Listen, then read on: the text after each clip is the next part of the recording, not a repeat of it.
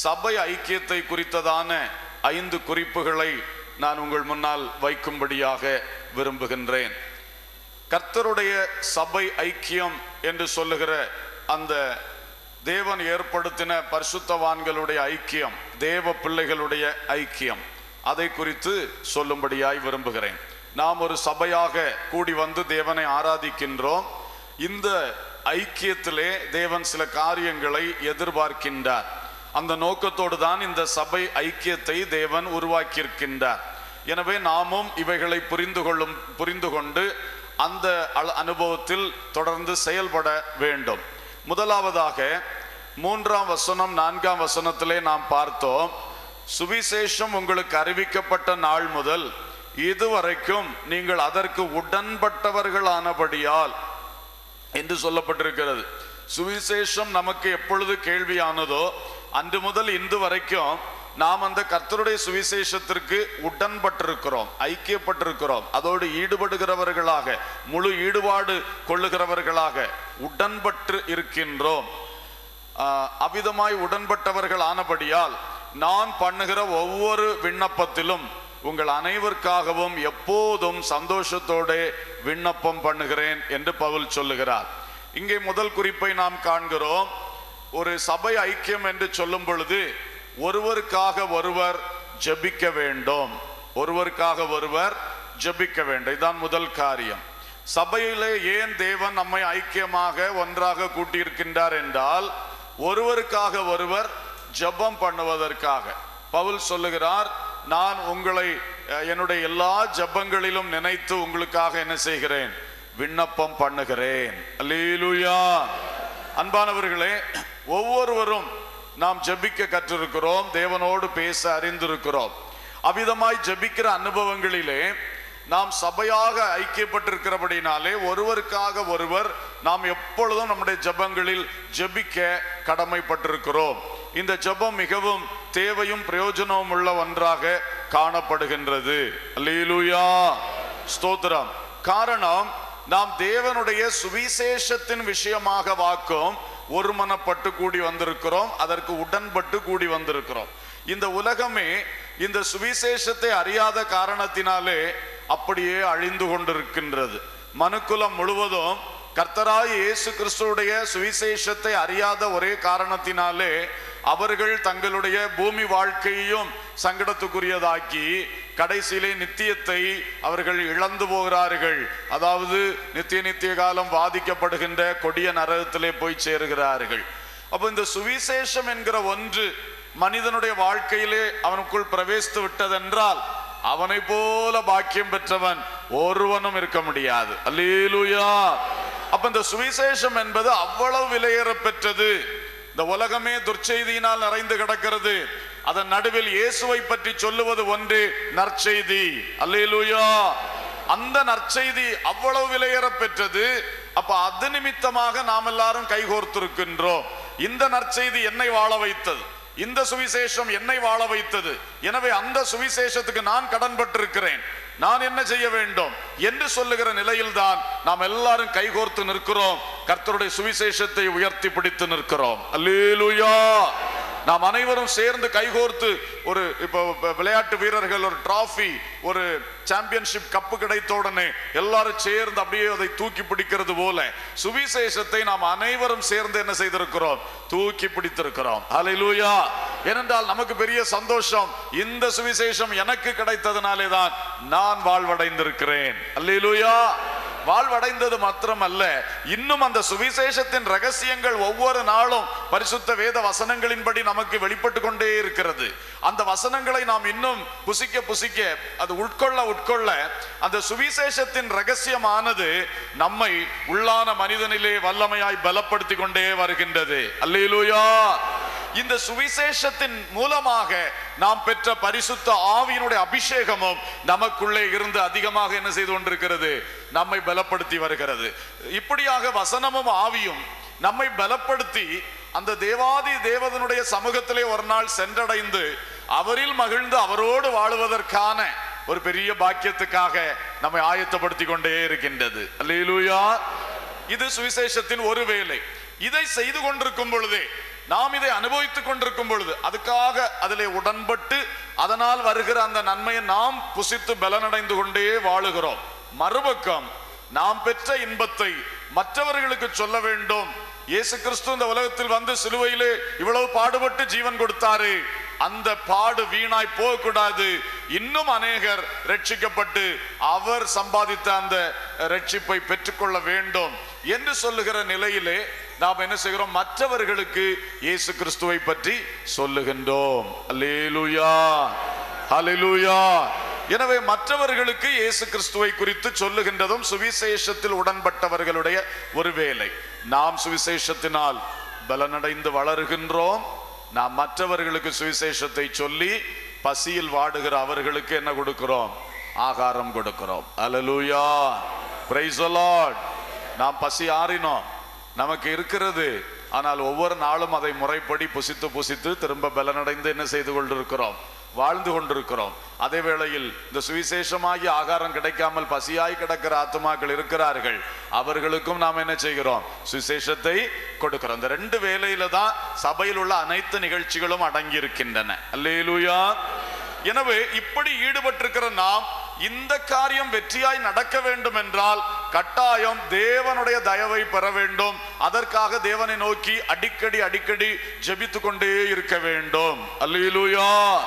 நாம் பலப்படுகிற விஷயமானாலும் சரி மற்றவர்களை ஆதாயப்படுத்துகிற விஷயமானாலும் சரி இந்த ரெண்டு காரியங்களிலுமே முழுக்க முழுக்க அந்த தேவனுடைய கிரியைகள் தான் வெளிப்பட்டு கொண்டே இருக்க வேண்டும். மனுஷ பலத்தினால் செய்யக்கூடிய காரியம் அல்ல இது. மனுஷ அறிவினால் சாதிக்கக்கூடிய விஷயம் அல்ல.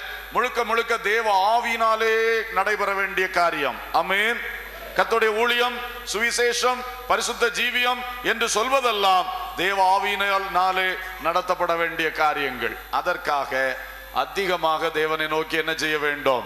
சபையானது ஜெபிக்க வேண்டும். சபை ஜெபிக்க வேண்டும் என்றால் இந்த கட்டடம் மா ஜெபிக்கும். இல்லை நாம் தான் சபை. நாம் ஒவ்வொருவரும் என்ன செய்ய வேண்டும்? அதிகமாக ஜெபிக்க வேண்டும். ஆமேன். இப்பொழுது ஒருவருக்காக ஒருவர் ஜெபம் பண்ண வேண்டியது மிக அவசியமாக இருக்கிறது. இந்த சுவிசேஷத்துக்கு உடன்பட்டவர்கள் என்ற விஷயத்திலே ஆங்கில வேதாமத்தில் ஆம்பிளிஃபைட் பைபிளில் ஒரு மூன்று வார்த்தைகள் கொடுத்திருக்கிறார்கள். என்னவென்று சொன்னால் உடன்பாடு சுவிசேஷத்துக்கு உடன்பட்டவர்கள் சொல்லும் பொழுது முதலாவது எ சிம்பத்தட்டிக் கோஆபரேஷன் ஒரு ஒரு ஒரு நல்ல ஒரு பரிவுடன் கூடிய ஒரு ஒத்துழைப்பு. ஏராள மக்கள் ரட்சிக்கப்படாமல் இருக்கிறார்களே நரகத்தில் போய் வேதனைப்பட போகிறார்களே. இந்த உலகத்திலும் வியாதி துன்பம் பல கஷ்டத்தினாலே அவதிப்படுகிறார்களே என்று சொல்ல சொல்லுகிற அந்த ஆத்ம தாகத்தினால் அந்த ஒரு மனிதர்கள் மேல் உள்ள பரிதாப உணர்ச்சியினாலே அழிந்து போகிற ஆத்மாக்களை குறித்த ஒரு பரிதாப உணர்ச்சியினாலே நாம் எல்லாரும் சேர்ந்து கர்த்தர் இந்த உலகத்திலே செய்த அந்த ஊழியம் அந்த ஊழியம் தான் இந்த ஆத்மாக்களுக்கெல்லாம் இந்த கஷ்டத்துக்கு பரிகாரம் செய்யக்கூடியது என்று அறிந்து அதை செய்யும்படி அனைவரும் கோஆபரேட் பண்ணுகிறோம் ஒத்துழைத்து நிற்கிறோம். இதுதான் சுவிசேஷத்துக்கு உடன்பட்ட விஷயம். அல்லூயா அடுத்தது என்ன தெரியுமா? பார்ட்னர்ஷிப் பார்ட்னர்ஷிப் இந்த சுவிசேஷத்தில் நானும் ஒரு பங்காளியாக மாறுகின்றேன் இந்த ஊழியத்திலே. எப்படி என்னுடைய பங்களிப்பு இருக்கும்? நான் இந்த குறிப்பிட்ட காரியத்தில் எனக்கு தேவன் ஒரு தாளந்தை தந்திருக்கிறார் திறமை தந்திருக்கிறார். ஒரு கிருபை ஒரு வரம் எனக்கு தந்திருக்கிறார். எனவே அந்த பகுதியிலே நானும் இணைந்து அந்த ஊழியத்திலே ஈடுபடுகிறேன். நானும் ஒரு பார்ட்னராக ஒரு பங்காளியாக மாறுகின்றேன். எனவே சுவிசேஷத்தை மற்றவர்கள் சொல்லக்கூடிய ஒரு கிருபை தேவன் தந்திருக்கிறார். சுவிசேஷம் அறிவிக்கிற ஊழியத்திலே நான் இறங்கி செயல்படுகிறேன். எனக்கு சோர்ந்து போனவர்களை திடப்படுத்தக்கூடிய ஒரு கிருபை தேவன் தந்திருக்கிறார். அந்த மாதிரி ஒரு ஊழிய காரியத்தில் நான் ஈடுபடுகிறேன். கத்தருக்கு ஸ்தோத்திரம்.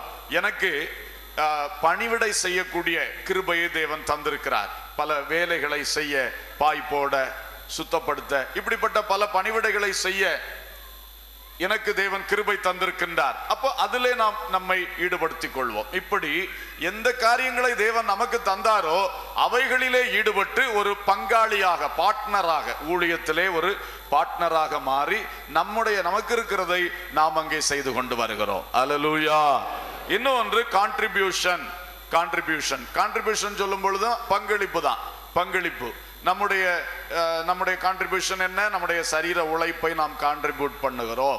நம்முடைய சரீர உழைப்பை கொஞ்சத்தை என்ன செய்கிறோம்? எவ்வளோ காரியம் குடும்பத்துக்காக உழைக்கிறோம். ஒரு பகுதியை கர்த்தருக்காக உழைக்கும்படி செலவு பண்ணுகிறோம்.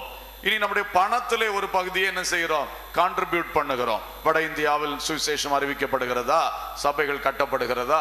தென்னிந்தியாவில் என்ன நடக்கிறது? ஏழைகளுக்காக என்ன நடக்கிறது? எல்லா ஊழியத்தின் பகுதிகளை கேள்விப்படும் பொழுது நாம் திட்டமிடுகிறோம். நம்மை கர்த்தர் எதிலே கைடு பண்ணுகிறாரோ? எதிலே அந்த நம்முடைய உள்ளத்திலே அந்த ஏவுதலை தருகிறாரோ? அந்த விஷயத்திலே நம்முடைய பணம் கான்ட்ரிபியூஷனையும் நாம் கொடுத்து கொண்டிருக்கிறோம். இப்படி எல்லா விதத்திலும் இந்த சுவிசேஷத்திற்காக ஒரு கரம் கோர்த்து நிற்கின்ற ஒரு அனுபவம். அல்லூயா இப்ப இந்த அனுபவத்திலே முதலாவது வெற்றியா இவைகளெல்லாம் நடந்து நாமும் கிறிஸ்துவுக்குள் ஜெயம் பெற்று மற்றவர்களையும் ஆதாயப்படுத்த வேண்டும் என்றால் ஒருவருக்காக ஒருவர் கட்டாயம் ஜெபம் பண்ண வேண்டும். பிரைஸ் இந்த வசனம் சொல்லுகிறது நான் பண்ணுகிற ஒவ்வொரு விண்ணப்ப விண்ணப்பத்திலும் எப்போதும் உங்களுக்காக ஜெபம் பண்ணுகிறேன். பவுல் சொல்ல எப்பொழுதும் எப்பொழுதும் எந்த ஜெபமானாலும் நீங்கள் எல்லாம் எனக்கு பங்காளிகளா இருக்கிறதுனாலே என்னோடே கூட இந்த சுவிசேஷ ஊழியத்தை நீங்கள் செய்கிறவர்களாக இருக்கின்றபடினாலே சுவிசேஷத்தில் பங்கடைந்தவர்களா இருக்கின்றதுனாலே உங்களுக்காக நான் என்ன செய்கிறேன்? ஜெபிக்கிறேன். அல்லேலூயா. ஊழியர்கள் எப்பொழுதும் விசுவாசிகளுக்காக ஜெபிக்க வேண்டும். அது ஒரு தலையாய கடமை. அதே போல விசுவாசிகளும் ஊழியர்களுக்காக ஜெபிக்க வேண்டும் உடன் விசுவாசிகளுக்காகவும் ஜெபிக்க வேண்டும். இதுதான் இந்த சபையின் ஐக்கியத்தை பலப்படுத்துகிறது கிறிஸ்துவின் கரத்தை வலுப்படுத்தி இந்த தேசத்திலே இந்த உலகத்திலே கிறிஸ்துவின் ராஜ்யத்தை வலுமையாய் கட்டுவதற்கு வழி செய்கின்றது. அல்லேலுயா! அடுத்தது பாருங்கள் இந்த வசனத்திலே உங்கள் அனைவருக்காகவும் என்ற ஒரு வார்த்தை சொல்லப்பட்டிருக்கிறது. உங்கள் அனைவருக்காகவும் எப்பொழுதும் நான் சந்தோஷத்தோடு விண்ணப்பம் பண்ணுகிறேன். அனைவருக்காகவும் ஒரு சின்ன ஒரு ஒரு சிலருக்காக மட்டுமல்ல எல்லாருக்காக ஜெபிக்கிற ஒரு பழக்கம் நமக்கு வேண்டும். வாசியுங்கள் எபேசியர் ஆறாம் அதிகாரம் பதினெட்டாம் வசனம். எபேசியர் ஆறு பதினெட்டு. சமயத்திலும் ஆ. சகலவிதமான வேண்டுதலோடும் விண்ணப்பத்தோடும் ஆவியினாலே ஜெபம் பண்ணி அதன் பொருட்டு மிகுந்த மன உறுதியோடும் சகல பரிசுத்தவான்களுக்காகவும் பண்ணும் வேண்டுதலோடும் விழித்து கொண்டிருங்கள். எந்த சமயத்திலும் ஜெபம் பண்ண வேண்டும். எந்த சமயத்திலும் எல்லா காரியங்களுக்காக ஜோம் பண்ணினால் நல்ல மன உறுதி கிடைக்கும் தைரியம் கிடைக்கும் பயமே இருக்காது. அதோடு சகல பரிசுத்தவான்களுக்காகவும் என்ன செய்ய வேண்டுமா? ஜெபம் பண்ண வேண்டும். அல்லேலூயா சகல பரிசுத்தவான்கள் நமக்கு தெரிந்த எல்லா தேவ மக்களுக்காக நாம் என்ன செய்ய வேண்டும்? ஜெபிக்க வேண்டும். அது முதலாவது எங்கிருந்து ஆரம்பமாகும்? நம்முடைய சபையிலிருந்து ஆரம்பமாகும். நம்முடைய சபையில் வாரந்தோறும் நாம் சந்திக்கிறவர்கள் வாரந்தோறும் நாம் ஒன்றாயிருந்து நாம் தேவனை ஆராதிக்கின்றவர்கள் ஒரே பந்தியாகிய கத்தோடைய பந்தியிலே பங்கடைகின்றவர்கள் இப்படிப்பட்ட ஒரு பெரிய ஐக்கியத்தை நமக்கு தேவன் தந்திருக்கும் பொழுது நாம் முதலாவது ஒருவருக்காக ஒருவர் கட்டாயம் ஜெபிக்க வேண்டும். அல்லேலுயா! இன்றைக்கு ஒரு சிலர் முன்னே எழும்பி வந்து சாட்சி சொன்னார்கள். அவர்கள் சொன்னதை நாம் கேட்டோம். தேவனை மகிமைப்படுத்தினார்கள். சில ஜெப விண்ணப்பங்களையும் எடுத்து கூறினார்கள். இது எதற்காக? இதை நாம் நினைத்து வீடுகளிலே ஜெபிக்க வேண்டும். அலலூயா நாம் இவர்களுக்காக ஜெபிக்க கடமைப்பட்டிருக்கிறோம். சாட்சிகள் வாசிக்கிறோம். அந்த பெயர்களை சொல்லும் பொழுது அதை மனதிலே கொண்டு அந்த விஷயம் என்னதென்று நம்முடைய மனதிலே இருக்கிறது ஜெபிக்க வேண்டும். சில ஜெப குறிப்புகளை சொல்லுகிறோம். சனிக்கிழமை எவ்வளவோ ஜெப குறிப்புகளுக்காக ஜெபம் நடத்துகிறோம். இங்குள்ள ஒவ்வொரு நாள் ஜெபங்கள்ல வரும் பொழுது எவ்வளவோ ஜெப குறிப்புகள் நம்முடைய நினைவில் திரும்ப வருகிறது. எல்லாம் தேவ சமூகத்திலே ஜெபிக்க வேண்டும். ஹalleluya யாருடைய முகம் நம்முடைய இருதயத்திலே நம்முடைய மனசிலே நினைவுக்கு வருகிறதோ அவர்களுக்காக ஜெபிக்க வேண்டும். யாரை பற்றின நினைவு வருகிறதோ உடனே ஜெபிக்க வேண்டும். இப்படி ஒரு ஜெபிக்கிற ஒரு பழக்கத்தை எல்லா தேவ பிள்ளைகளும் கட்டாயம் வளர்த்து கொள்ள வேண்டும். அல்லேலூயா! லீலுயா கத்தருக்கு ஸ்தோத்திரம். இப்படி நாம் ஒருவருக்காக ஒருவர் ஜெபிக்கும் பொழுது சபையானது பலப்படும் சோர்ந்த உள்ளங்கள் பலப்படும் நிச்சயமாக எல்லாரும் கிறிஸ்துவுக்குள் பலனாக வாழ முடியும். நம்மை குறித்து ஒரு நினைவு நமக்கு இருக்க வேண்டும். ஏதாய் நாங்கள் எல்லாம் சேர்ந்து கைகோர்த்து கத்தோடைய சுவிசேஷத்தை தாங்கி நிற்கிறோம்.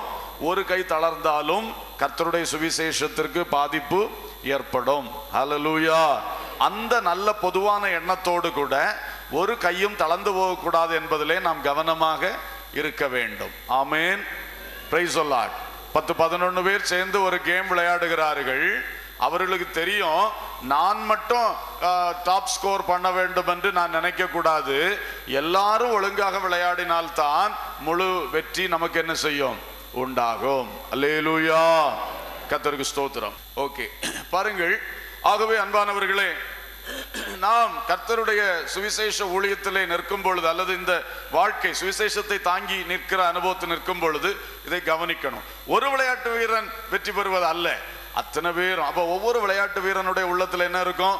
ஓ நான் அடிக்காட்டாலும் அவன் அடிக்கணும் நானும் அடிக்கணும் அவனும் நல்ல ஸ்கோர் பண்ணணும். இப்படி உள்ள இதில் அவன் விளையாடணும். அதுதான் டீம் ஸ்பிரிட் ஒன்னா சேர்ந்து அந்த கேம் ஜெயிக்கணும். ராணுவ வீரர்கள் ஒன்றாய் சேர்ந்து சத்ருவை எதிர்க்கிறார்கள். எதிர்க்கும் பொழுது நான் என் தனித்திறமையை காட்டி பேர் புகழ் வாங்க வேண்டும் என்று மட்டும் அவன் தனியா புகுந்து போய் அங்க ஒன்றும் செய்ய முடியாது. எல்லாரும் சேர்ந்து திட்டமிட்டு ஒன்றாக அவரவர் செய்ய வேண்டியதை செய்தால்தான் நாட்டிற்கு வெற்றி உண்டாகும். அல்லேலூயா! எனவே இதே போலதான் கத்தோடைய சுவிசேஷத்தை ஏந்தி பிடித்து நிற்கிற தேவ மக்களாகிய நாமும் தற்புகழ்ச்சியை நாடாமல் நாம் மட்டும் தன்னந்தனியாக எதையோ சாதிக்கிறவர்கள் போல ஆகாமல் நாம் அந்த கர்த்தர் நம்மை வைத்த நிலையிலே அழகாக நின்று கரங்கோர்த்து நின்று செயல்படும் பொழுது மகாபெரிய வெற்றியை நாம் பெற்றுக்கொள்ள முடியும். அல்லேலூயா இதற்குத்தான் சகல பரிசுத்தவான்களுக்காக ஜெபம் பண்ண வேண்டும். இனி அப்போஸ்தலனாகிய பவுல் சொல்லுகிற ஜெப குறிப்புகளை பார்த்தால் மிகுந்த ஆச்சரியமாக காணப்படுகின்றது. கத்தருக்கு ஸ்தோத்திரம். பாருங்கள் என்ன ஜெப குறிப்புகள் அவர் சொல்லுகிறார். கீழே வாசிக்கிறோம். ஒன்பதாம் வசனத்திலிருந்து பார்க்கும் பொழுது நீங்கள் உத்தமமானவைகளை நீங்கள் ஒப்புக்கொள்ளத்தக்கதாக உங்கள் அன்பானது அறிவிலும் எல்லா உணர்விலும் இன்னும் அதிகமாய் பெருகும்படி நான் வேண்டுதல் செய்கிறேன். அவருடைய ப்ரேயர் பாயிண்ட்டை பார்த்தீங்களா? எல்லாரும் கொஞ்சம் கவனிக்கணும். இந்த ஜெப குறிப்பெல்லாம் நீங்கள் எழுதி வைத்து ஜெபிக்கிறது மிகவும் பிரயோஜனமானது. நம்முடைய ஜெப குறிப்புகளிலும் அதிகமாக இப்படிப்பட்ட பைபிளில் எழுதப்பட்டிருக்கிற ஜெப குறிப்புகள் இடம்பெற வேண்டும். அதுக்காக நாம் ஜெபிக்கணும். அதோடு கூட ஆவிக்குரிய நிறைய காரியங்களுக்காக ஜெபிக்கணும். அதுக்கு அடுத்தபடி தான் இந்த உலகத்தில் உள்ள காரியங்களுக்காக ஜெபிக்கணும். அந்த பழக்கம் நம்மை கிறிஸ்துவுக்குள்ளாக தேவ மைமைக்கு நேராய் வழி நடத்தும் இதிலே ஒரு ஜபக்குறிப்பு ஒன்பதாம் வசனத்திலே உங்கள் அன்பு அறிவிலே பெருக வேண்டும் எல்லா உணர்விலும் பெருக வேண்டும். இதெல்லாம் ஆழமான காரியங்கள். நான் ஒவ்வொன்றுக்குள்ளும் விரிவாக போகவில்லை. ஜெப குறிப்பை மட்டும் நினைப்பூட்டுகிறேன். ஒவ்வொன்றையும் நீங்கள் தியானித்து பார்த்தீங்கன்னா ரொம்ப ரொம்ப அருமையான கிறிஸ்துவுக்குள் ஆழமான வாழ்க்கை நமக்கு தருகின்றது. அடுத்தது நீதியின் கனிகளால் நிறைந்தவர்களாகும்படி உங்களுக்காக நான் என்ன செய்கிறேன்? ஜெபிக்கிறேன். பத்தாம் வசனத்தில் உள்ள ஜெப குறிப்பு நீதியின் கனிகளால் நீங்க எல்லாரும் என்ன செய்யணும்? நிரப்பப்படணும். பதினொன்றாம் வசனத்தில் உள்ள ஜெப குறிப்பு வருகைக்கு நீங்கள் துப்புரவானவர்களும் துப்புரவானவர்களாக இருக்க வேண்டும். வருகைக்கு நீங்கள் துப்புரவுனா என்னது? சுத்தம் பரிசுத்தம் நல்ல தூய்மை. துப்புரவாக இருக்க வேண்டும். அடுத்தது வருகைக்கு நீங்கள் இடரலற்றவர்களாக இருக்க வேண்டும். இந்த பாயிண்ட்ஸ்க்காக பவுல் என்ன செய்கிறாராம்? ஜோம் பண்ணுகிறார். அல்லேலூயா! சரி. அடுத்து எபேசியர் ஒன்றாம் அதிகாரத்திலே ஒரு ஜெபம் பண்ணுகிறார். அதையும் நான் வாசிக்கும்படியாக விரும்புகின்றேன். எபேசியர் ஒன்றாம் அதிகாரம் பதினைந்திலிருந்து பத்தொன்பது வரை நாம் பார்க்கும் பொழுது அங்கே எதற்காக தெரியுமா? ஜோம் பண்ணுகிறார். அவர் சொல்லுகிறார் கத்தருக்கு ஸ்தோத்திரம். பிரைஸ் லார்ட் உங்களுக்கு ஞானமும் தெளிவும் தரும் ஆவியை நீங்கள் பெற்றுக்கொள்ளும்படி நான் உங்களுக்காக விண்ணப்பம் பண்ணுகிறேன். எந்த ஆவியை நீங்கள் பெற்றுக்கொள்ளணும்? ஞானமும் தெளிவும் தரக்கூடிய ஆவியை நீங்கள் பெற்றுக்கொள்ளும்படி உங்களுக்காக என்ன பண்ணுகிறேன்? ஜோம் பண்ணுறேன் அடுத்தது நம்பிக்கை மகிமையின் ஐஸ்வர்யம் வல்லமையின் மேன்மை இந்த மூன்று காரியங்களை அறியக்கூடிய பிரகாசமுள்ள மனக்கண்களை உங்களுக்கு தேவன் தரும்படி உங்களுக்காக என்ன பண்ணுகிறேன்? ஜெபிக்கிறேன். உங்களுக்கு கண்கள் பிரகாசம் அடையணும். மனக்கண்கள் பிரகாசம் அடையணும். பிரகாசம் அடைந்து எதையெல்லாம் அறியணும்? தேவன் பேல் வைக்கிற நம்பிக்கையை குறித்து அதிகமாய் அறிய வேண்டும். மகிமையின் ஐஸ்வர்யத்தை குறித்து அதிகமாக அறியணும். உலக ஐஸ்வர்யத்தை மட்டும் நீங்கள் நினைக்கிறவர்களா இனி இருக்கக்கூடாது. உங்களுடைய அகக்கண்கள் மனக்கண் திறக்கப்பட்டு மகிமையின் ஐஸ்வர்யத்தை குறித்து அதிகமாய் அறிகிறவளா இருக்கணும். தேவனுடைய வல்லமையின் மேன்மையை குறித்து அதிகமாக அறிய வேண்டும். பார்த்தீங்களா நம்பிக்கை மகிமையின் ஐஸ்வர்யம் வல்லமையின் மேன்மை இவைகளை அதிகமாய் அறிவதற்காக உங்களுக்கு பிரகாசமுள்ள மனக்கண்கள் வேண்டும் என்று நான் ஜெபம் பண்ணுகிறேன். இனி கொலோசையர் எழுதின நிருபம் முதலாம் அதிகாரம் ஒன்பது முதல் பதினொன்று வரையிலுள்ள வசனங்களில் இன்னொரு ஜப குறிப்பு கொலோசேர் சபைக்காக சொல்லுகிறார். நீங்கள் எல்லா ஞானத்தோடும் விவேகத்தோடும் தேவ சித்தத்தை அறிகிற அறிவினால் நிரப்பப்படும்படி உங்களுக்காய் ஜபிக்கிறேன். ப்ரேயர் பாயிண்ட்ஸை பாருங்க. நீங்கள் எல்லா ஞானத்தோடும் விவேகத்தோடும் எதை அறிய வேண்டும்? தேவ சித்தத்தை அறியணும். உங்க வாழ்க்கை குறித்த தேவ சித்தம் பரிசுத்த இந்த ஜீவியத்தை குறித்த தேவ சித்தத்தை ஊழியங்களை நீங்கள் ஈடுபடுகிற காரியங்களை குறித்த தேவ சித்தத்தை அறிய வேண்டும். அடுத்தது நற்கிரியைகளாகிய கனிகளை தந்து அறிவில் விருத்தி அடைந்து கர்த்தருக்கு பிரியமுண்டாக பாத்திரர்களாய் நடந்து கொள்ள வேண்டும். அடுத்தது நீங்கள் பாத்திரர்களாய் நடந்து கொள்ளும்படி உங்களுக்காய் ஜெபிக்கிறேன். கர்த்தருக்கு ஏற்றவர்களாய் பாத்திரர்களாய் நடந்து கொள்ள வேண்டும். அடுத்தது உங்களுக்கு நீடிய சாந்தம் பொறுமை உண்டாக நான் ஜெபம் பண்ணுகிறேன் என்று சொல்லுகிறார். உங்களுக்கு நீடிய சாந்தமும் பொறுமையும் உண்டாக ஜெபம் பண்ணுகிறேன். அடுத்தது நீங்கள் வல்லமையால் பலப்படுத்தப்பட உங்களுக்காக ஜெபம் பண்ணுகிறேன். பாருங்கள் பவுலுடைய ஜெப குறிப்புகள் புதிய ஏற்பாட்டு ஜெப குறிப்புகள் சபையின் ஜெப குறிப்புகள் எப்படி இருக்கிறது? வெறும் பண கஷ்டம் மாறணும் கடன் பாரம் மாறணும் அவர்களுக்கு அது ஸ் கிடைக்கணும் இவர்களுக்கு இது கிடைக்கணும் தலைவேதனை மாறணும். ஒரு ஜெப குறிப்பு இல்லை. நம்ம இன்னைக்கு சொல்லுகிற ஒரு ஜெப குறிப்பு பைபிள்ல இல்லை. ஏன்னா அவங்க என்ன பண்றாங்க? இதையெல்லாம் விட்டுவிட்டு அதற்கு மேலானவைகளை அவர்கள் தேடுகிறார்கள். அப்ப இவைகள் தானாக கிடைக்கும். அல்லேலூயா. கத்தருக்கு ஸ்தோத்திரம். இதாக்கும் விஷயம். கத்தருக்கு ஸ்தோத்திரம். சில வேளைகளில் பாருங்கள் சரீரத்திலே ஒரு இடத்திலே ஒரு வலி ஏற்படும். வலி கஷ்டம். அப்ப நம்ம என்ன நினைப்போம்? ஓ இங்க வலிக்குது வலிக்குதுன்னு சொல்லி வலிக்கிற இடத்த பிடிச்சுக்கிட்டே இருப்போம். ஆனால் உடற்கூறு அறிந்த வைத்தியர்கள் என்ன செய்கிறார்கள்? டாக்டர்ஸ் இவங்க எல்லாம் என்ன பண்றாங்க? இந்த சிம்டம்ஸ் இந்த அடையாளங்களை கேட்ட உடனே அவள் என்ன செய்வார்கள்? ஓ இது வந்து ஆ, த- நெஞ்சிலையாக்கும் பிரச்சனை இல்லை தலையிலையாக்கும் பிரச்சனைன்னு சொல்லுவா. நம்ம சொல்லலாம் முதுகு வலின்லாம் வந்தேன். முதுகுவலின்னு வந்தா நீங்க அங்க இன்னொரு இடத்துல பிரச்சனைன்னு சொல்றீங்க. அவர்களுக்கு தெரியுது இங்க வலி ஏற்பட்டா பாதிப்பு எங்க ஏற்பட்டிருக்குது? அங்க ஏற்பட்டிருக்குன்னு சொல்லி. இதே மாதிரிதான் நாம வந்து நமக்கு இன்னைக்கு வாழ்க்கையில வந்திருக்கிற பாதிப்புகள்லாம் பரிகாரம் எங்க இருக்குன்னா தெய்வீகத்தை பற்றி பிடிக்கிறதில் தான் இருக்கிறது. அல்லையிலூயா நாம இந்த வலி ஏற்படுற இடத்த பிடிச்சி பிடிச்சி பிடிச்சி இருந்துகிட்டே இருக்கோம். ஐயோ இங்க வலிக்குது இங்க வலிக்குது இது மாறணுமே இது மாறணுமே. இது மாற வேண்டும் என்றால் அதுக்கு பரிகாரம் செய்ய வேண்டிய இடத்துல என்ன செய்யணும்? பரிகாரம் செய்யணும். அதுதான் இயேசு கிறிஸ்து சொன்னார் முதலாவது தேவனுடைய ராஜ்யத்தையும் அவருடைய நீதியையும் தேடுங்கள். அப்பொழுது இவைகளெல்லாம் உங்களுக்கு கூட கொடுக்கப்படும். இதை எப்பொழுதுமே புரிந்து கொள்ள வேண்டும். பிரச்சனை எங்க இருக்குன்னு சொல்லி கர்த்தருக்கு தெரியும். நம்முடைய நமக்கும் தேவனுக்கும் உள்ள உறவிலே வருகிற அந்த பாதிப்புகள் தான் நமக்கு பல பிரச்சனைகளை வாழ்க்கையிலே கொண்டு வருகிறது.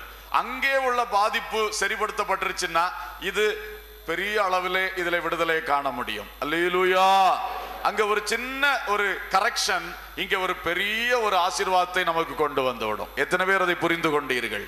ஆமேன். கைகளை வைத்து தேவனை மகிமைப்படுத்துங்கள். ஸ்தோத்திரம். இதை எப்பொழுதும் கண்டுபிடிக்கணும். வாழ்க்கையில அடிக்கடி பிரச்சனை வருகிறதா? அப்ப எனக்கும் தேவனுக்கும் உள்ள காரியத்தில் எங்கே பிரச்சனை இருக்கிறது? அங்கதான் பார்க்கணும் அங்கதான் பார்க்கணும். அலையிலூயா அங்க கரெக்ஷன் நடக்கும் பொழுது இங்க அற்புதங்கள் நடக்கும். அலையிலூயா எனவே அன்பானவர்களே இந்த ஆவிக்குரிய மேன்மைக்கான ஜெப குறிப்புகள் அதிகமாக ஜெபிக்க தேவ பிள்ளைகள் நாம் பழகி கொள்ள வேண்டும். தனி ஜெபத்திலும் கூடி ஜெபிக்கிற ஜெபங்களிலும் அதிகமான நேரத்தை இப்படிப்பட்ட ஆவிக்குரிய காரியங்களுக்காக ஜெபித்து நம்முடைய ஆத்மாவை இன்னும் கிறிஸ்துவுக்குள்ளே பலப்படுத்த வேண்டும். அப்பொழுது இந்த சரீர பிரகாரமான உலகத்தில் உள்ள காரியங்கள் தானாக நடக்கும்படி தேவன் அருள் செய்வார். ஆமேன். ஸ்தோத்திரம். எனவே இப்படிப்பட்ட பல நல்ல ஜெப குறிப்புகளை வைத்து ஒருவருக்காக ஒருவர் என்ன செய்ய வேண்டும்? ஜோம் பண்ணணும். ஒருவரை நினைக்கும் பொழுது கத்தாவே அவர்கள் உம்முடைய ஆவியின் அபிஷேகத்தை அவளுக்கு அதிகமாய் கொடுமப்பா அவர்கள் நல்ல ரொம்ப கஷ்டப்படுகிறார்கள் சோதனைக்குள்ள இருக்கிறார்கள் என்று சொன்ன ஆண்டவரே பொறுமை கொடுங்கப்பா நம்ம எப்போ என்ன ஜோமனும்? ஆண்டவரே சோதனை இருந்து விடுவியும். விடுவியும் இந்த ஒரு ஜபம் தான் நமக்கு தெரியும். ஆனால் அந்த ஒரு ஜபத்தோடு நிறுத்தக்கூடாது சோதனையிலிருந்து விடுவியும் என்று ஜபிக்க வேண்டும். ஆனால் இந்த சோதனைக்குள்ளே அவர்களுக்கு நீடிய பொறுமை கொடும். நீடிய சாந்தத்தை கொடும். உண்மை விட்டு விலகாமல் இருக்க கிருபை செய்யும். நீர் எதுக்காக இந்த சோதனை கொடுத்தீரோ அந்த இதுல ஜெயமெடுத்தவர்கள் எழும்புவதற்கு அவர்களுக்கு கிருபை செய்யும். இப்படி நாம் ஆவிக்குரிய காரியங்களுக்காக புரிந்து கொண்டு ஜபிக்கிறவர்களாக மாற வேண்டும். இது தேவனுக்கு பிரியமானது. அதனால் சபை பலப்படும். தேவ ஜனங்கள் பலனடைவார்கள் மகிமையான காரியங்கள் நடக்கும். ஆமென். இன்னொரு வார்த்தை இந்த ஜபத்திலே அவர் சொல்லுகிறார். நான் சந்தோஷத்தோட ஜபிக்கிறேன். எப்படி ஜபிக்கிறேன்? இந்த வார்த்தையை கவனிச்சீங்களா? நான்காம் வசனம் கடைசியில எப்போதும் சந்தோஷத்தோட விண்ணப்பம் பண்ணுகிறேன். பிரேயர் எப்படி பண்ண வேண்டும்? ஒவ்வொருவத்திற்காக ஜோம் பண்ணுகிறது. எப்படி ஜோம் பண்ண வேண்டும்? ஒரு தடவை கூட வாய் திறந்து சொல்லுங்க. சந்தோஷத்தோட. அலேலுயா சந்தோஷத்தோட ஜோமனும் பண்ணணும் இது ரொம்ப முக்கியமான காரியம். ஒரு மனத்தாங்கல் அடைந்து இன்னார் இப்படி செய்கிறார்கள் அப்படி செய்கிறார்கள் அப்படி அல்ல. சந்தோஷத்தோட கத்தாவே இவர்களை ஆசீர்வதியும். ஒவ்வொருவரை நம்முடைய முகத்துக்கு முன்னால் அவர்கள் வரும் பொழுது நம்முடைய நினைவிலே மனத்திரையிலே அவர்கள் வரும் பொழுது அவர்களுக்காக நம்முடைய உள்ளம் சந்தோஷப்படணும் சந்தோஷப்படணும். இதில் ஒரு ரகசியத்தை நீங்கள் கற்றுக்கொள்ள வேண்டும். எல்லாரும் கவனிக்கிறீங்களா? ஆமென். பாருங்க நாம் வந்து இப்போ ஒரு நபர் இன்னொரு நபருக்காக ஜெபிக்க ஆரம்பித்தோன்னே இந்த உள்ளத்திலும் கிரிய நடக்கும் அந்த உள்ளத்திலும் கிரிய நடக்கும். இது வந்து ரெண்டு பக்கம் ஆசீர்வாதமாக்கும். நீங்கள் பலருக்காக ஜெபிக்க ஆரம்பிச்சீங்கன்னா உங்களுடைய இருதயத்திலே ஒரு கிரியை உண்டாகும். அதே போல நீங்க யார் யாருக்கா ஜெபிக்கிறீங்களோ அவங்களுடைய வாழ்க்கைகளிலும் என்ன உண்டாகும்? கிரியை உண்டாகும். இதை நீங்கள் புரிந்து கொள்ளுங்கள். அதாவது நான் எல்லாருக்காக ஜெபிக்க ஜெபிக்க ஜெபிக்க எல்லாரையும் நேசிக்க முடிகிறது. அல்லேலூயா. ஜெபித்து பாருங்கள் அன்பு பெருகும். ஜெபிக்கணும் ஒவ்வொருத்தருக்காக ஜெபிக்கணும். சிலரை பற்றி உங்களுக்கு மனத்தாங்கல் இருக்கும் கஷ்டம் இருக்கும். முதல்ல அவர்களுக்காக வீட்டில் ஜெபிக்க தொடங்குங்கள். ஜெபித்து ஜெபித்து வரும்பொழுது தானாக உள்ளத்தில் இரு- பகை இருந்தா பகை ஓடிடும். மனத்தாங்கல் இருந்தா ஓடிடும். வருத்தம் இருந்தா மாறிடும். இதெல்லாம் அருமையான ஒரு வேலை. அநேகருக்காக ஜெபிக்க தொடங்குங்கள். குறிப்பா யார் மேல வருத்தங்கள் கஷ்டங்கள் இருக்கிறதோ அவங்களுக்காக எல்லாம் அதிகமா அடிக்கடி ஜெபிக்க ஆரம்பியுங்கள் பார்க்கலாம். ஜெபிக்க ஜெபிக்க உங்கள் உள்ளத்தில் ஒரு மாற்றம் நடக்கும். இந்த பகை விரோதம் மனத்தாங்கல் போன்ற மன கஷ்டங்கள் மன கசப்புகள் எல்லாம் மாறி உங்கள் உள்ளம் தேவ அன்பினாலே நிரப்பப்படும். அல்லேலூயா. இனி நீங்கள் எந்தெந்த நபர்களுக்காய் ஜெபிக்கின்றீர்களோ அவர்களுடைய உள்ளத்திலும் கட்டாய மாற்றம் வரும். தேவன் சும்மா இருக்க மாட்டார். நம்முடைய தேவன் நம்முடைய ஜபங்களை கேட்கிறவர். ஆமென். நம்முடைய ஒரு ஜெபம் கூட அவர் என்ன செய்யறது கிடையாது. அல்லல் தட்டுகிறவர் அல்ல. என்னை நோக்கி கூப்பிடு என்று சொன்னார். நான் உனக்கு மறு உத்தரவு தருவேன் என்று சொன்னார். ஆமென். கட்டாயம் தருவார். ஒரு ஜெபத்தை கூட சில ஆபீஸுகள்ல போனால் நம்ம கொடுக்குற பெட்டிஷன் நம்ம கொடுக்குற அப்ளிகேஷன் தூக்கி எங்கேயா போட்டுருவார்கள் சில வேளை. கவனமா ஃபாலோ பண்ணலைன்னா அவ்வளோதான் ஐயா நீங்க அப்படி ஒன்று தரவே இல்லைன்னு சொல்லிடுவார்கள். ஆனா பரலோக ராஜ்யம் அப்படி கிடையாது. ஒரு ஏழை ஒருவராலும் மதிக்கப்படாத ஒரு ஏழை கொடுத்த ஒரு விண்ணப்பமோ அங்க அங்கீகரிக்கப்படும். அல்லேலுயா! அந்த பெட்டிஷன் பேப்பரை தூக்கி சும்மா போட மாட்டார்கள். அதுக்குரிய நடவடிக்கை எடுத்துத்தான் அந்த ஃபைலை க்ளோஸ் பண்ணுவார்கள். ஆமேன். அல்லேலுயா! ஆமா இது கேப்பாரற்று கிடக்கிற பேப்பர் சும்மா யாரோ கொடுத்திருக்கிறாங்க. அப்படி தட்ட மாட்டார் ஓ, நாம் கொடுத்த ஒவ்வொரு விண்ணப்பங்களையும் தகுந்த நிலையில் பரிசீலித்து தகுந்த நடவடிக்கைகள் பரலோக அரசாங்கம் எடுத்துக்கொண்டே இருக்கிறது. எத்தனை பேர் விசுவாசிக்கிறீர்கள்? ஆமேன் ஆமென். லிலுயா கட்டாயம். எனவே அன்பானவர்களே நன்றாக ஜெபம் பண்ணுங்க. ஜெபம் பண்ணுங்க. ஒருவருக்காக ஒருவர் ஜெபம் பண்ணுங்க. இந்த ஜெபம் அதிகரிக்க அதிகரிக்க சபையிலே ஒரு பெரிய பிரகாசத்தை காண முடியும். சபை பலன் கொள்ளும். ஒவ்வொருவருக்கும் தனிப்பட்ட நிலையிலே அந்த பலன் அந்த பிரகாசம் அவர்கள் வாழ்விலே வெளிப்படும். எத்தனை பேருக்கு இது சந்தோஷம்? அமேன் அல்லேலூயா நாம் சில நாட்களாக கூடி கூடி வந்து ஜெபித்தோம். இந்த நாளிலே தேவன் நமக்கு தருகிற செய்தி நீங்கள் தொடர்ந்து ஒருவருக்காக ஒருவர் என்ன பண்ணுங்க?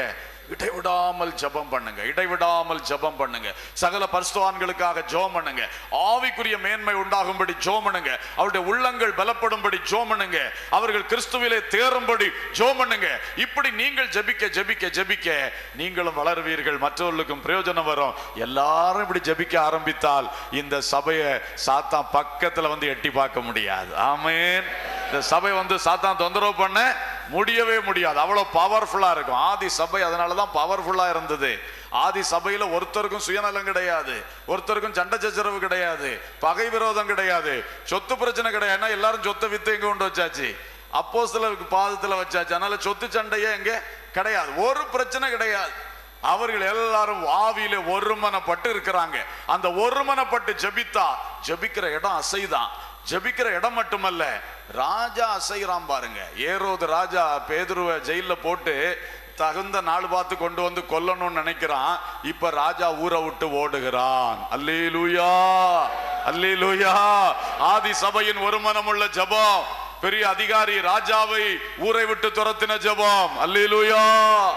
என்ன ஆச்சரியம்? ஒரு நாள் ராத்திரி ஒரு வீட்டுல கூடி ஜெபிச்சாங்க அவ்வளவுதான். சிறைச்சாலையின் எல்லாம் திறந்து பேதுரு வெளியே வந்தாச்சு. ராஜா ஓட்டம் பிடிச்சாச்சு. ஆமேன். இப்படிப்பட்ட ஜெபங்கள் எல்லாம் நடக்கும். எப்பொழுது? இந்த ஆவியில சந்தோஷம் ஆவியில ஒரு மனம் அதோடு சேர்ந்துள்ள அந்த ஜெபங்கள். இந்த ஜெபங்கள் ஒருத்தருக்காக ஒருத்தர் நடக்கும் பொழுது உங்களையும் ஒருத்தராலையும் அசைக்க முடியாது ஊழியத்தையும் ஒருத்தராலையும் அசைக்க முடியாது. ஆமேன். இப்படிப்பட்ட ஒரு பலவாய்ந்த கிறிஸ்தவர்களாக நாம் மாறுவதற்கு கர்த்தருடைய ஆவியானவர் நமக்கு வழியை சொல்லுகிறார். சகல பசுத்தவான்களுக்காக ஜெபியுங்கள் ஜெபியுங்கள். எப்பொழுதும் இடைவிடாமல் ஜெபியுங்கள். இது ஒரு முக்கியமான காரியம். இனி இரண்டாவதாக இந்த சபை ஐக்கியத்திலே ஒருவருக்காக ஒருவர் ஜெபியுங்கள் என்பது முதல் குறிப்பு. அடுத்தது ஐந்து ஆறு ஆகிய வசனங்கள் நாம் படிக்கும் பொழுது கர்த்தருக்கு ஸ்தோத்திரம். உங்களில் நற்கிரியையை தொடங்கினவர் அதை இயேசு கிறிஸ்துவின் நாள் பரியந்தம் முடிய நடத்தி வருவார் என்று நம்பி நான் உங்களை நினைக்கிற பொழுதெல்லாம் என் தேவனை ஸ்தோத்தரிக்கிறேன். அல்லேலூயா. இங்க என்ன தெரியுமா சொல்லி இருக்கிறது அதாவது கொஞ்சம் கவனிச்சிங்கன்னா தான் இது புரியும். பவுல் பார்க்கும்போது ஒவ்வொருத்தரை பார்க்கிறார். ஒவ்வொருத்தரை நினைக்கும் பொழுது இவரில் தேவன் ஒரு நற்கிரியை தொடங்கி இருக்கிறார் தொடங்கினவர் இதை முற்றுமுடிய என்ன செய்வார்? நடத்துவார். இவரில் தேவன் ஒரு நற்கிரியை என்ன செய்திருக்கிறார்? தொடங்கியிருக்கார் இப்படி நம்ம ஒவ்வொருவருடைய வாழ்க்கையிலும் கர்த்தர் இடைப்பட்டு நம்மிலே ஒரு நற்கிரியை தொடங்கி இருக்கிறார் என்ன நற்கிரியை? அவருக்குள்ளாக நம்மை மாற்றி நம்மை பர்லோராஜ்யம் கொண்டு சேர்க்கவும் அந்த வழிப்பயணத்திலே நாம் அநேகருக்கு பயனுள்ளவர்களாய் மாறவும் கர்த்தருடைய நாமத்தை மகிமைப்படுத்தவும் வேண்டி ஒரு நல்ல கிரியையை நமக்குள்ளே தேவன் என்ன செய்திருக்கிறார்? தொடங்கி இருக்கிறார் உங்க எல்லாருக்குள்ளையும் தொடங்கி இருக்கிறார் அந்த தொடங்கின கிரியையை அவர் கிறிஸ்துவின் நாள் பரியந்தம் முடிய நடத்தி வருவார் என்று ஒவ்வொருவரை குறித்து நாம் நம்ப வேண்டும். நம்ப வேண்டும். இதான் பாயிண்ட் நம்ப வேண்டும். என்ன நம்பிக்கை? தேவன் இதை செய்வார் என்று நம்ப வேண்டும். அல்லேலூயா தேவன் ஒவ்வொருவருக்குள் ஆரம்பித்த கிரியையை கடைசி மட்டும் செய்து முடிப்பார் என்று ஒருவருக்கொருவர் நம்ப வேண்டும். இது சபை ஐக்கியத்தில் தேவையான விஷயம். இப்போ இங்கே ஒரு பிரதர் இருக்கிறாரு. இந்த பிரதருடைய வாழ்க்கையிலே தேவன் தொடங்கினதை முற்றுமுடிய செய்து நிறைவேற்றுவார். இவருடைய வாழ்க்கை வெற்றியாக முடியும். தேவனுடைய திட்டம் நிறைவேறும் என்று நான் அவரை நினைக்கும் பொழுது நான் நம்பணும். நான் தேவனை நம்பணும். தேவன் செய்வார். அல்ல லூயா இன்னொரு ஆளை நினைக்கும் பொழுது நான் நம்பணும். இவன் எல்லாம் ஓடிக்கிட மாட்டான். இது எத்தனை நாள் ஓடுமோ தெரியல. அந்த மாதிரி சிந்தை நமக்குள்ள என்ன செய்யக்கூடாதான்? மாறி மாறி வரக்கூடாதான். ஏன்னா நம்ம அல்ல அவர் அல்ல அவருடைய திறமையில இல்ல அவர் ஓடத் தொடங்கினது. யார் ஆரம்பித்த கிரியை? வாய் திறந்து சொல்லுங்க.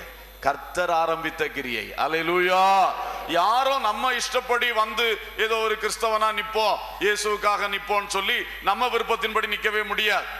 இது அப்படிப்பட்ட காரியம் அல்ல. தேவன் வந்தார் நம்மை தேடி. தேவன் சிலுவையிலே செய்ய வேண்டியது செய்து முடித்தார். அவருடைய ஆவி அனுப்பி இருக்கிறார் அந்த ஆவி நம்மை தேடி வந்து நமக்குள்ளே ஒரு கிரியையை தொடங்குகிறார். அல்லேலூயா. இப்ப நல்லா புரிஞ்சுக்குங்க. உங்க ஒவ்வொருத்தருடைய உள்ளத்திலே யார் கிரிய ஆரம்பித்திருக்கிறது? கத்தர் ஒரு வேலை செய்ய தொடங்கிட்டார். உங்களுக்குள்ள ஒரு ப்ராஜெக்ட் நடத்துகிறார்னு வச்சுக்கோங்க. உங்க வாழ்க்கையை அவர் ஒரு ப்ராஜெக்டா கையில் எடுத்திருக்கிறார்.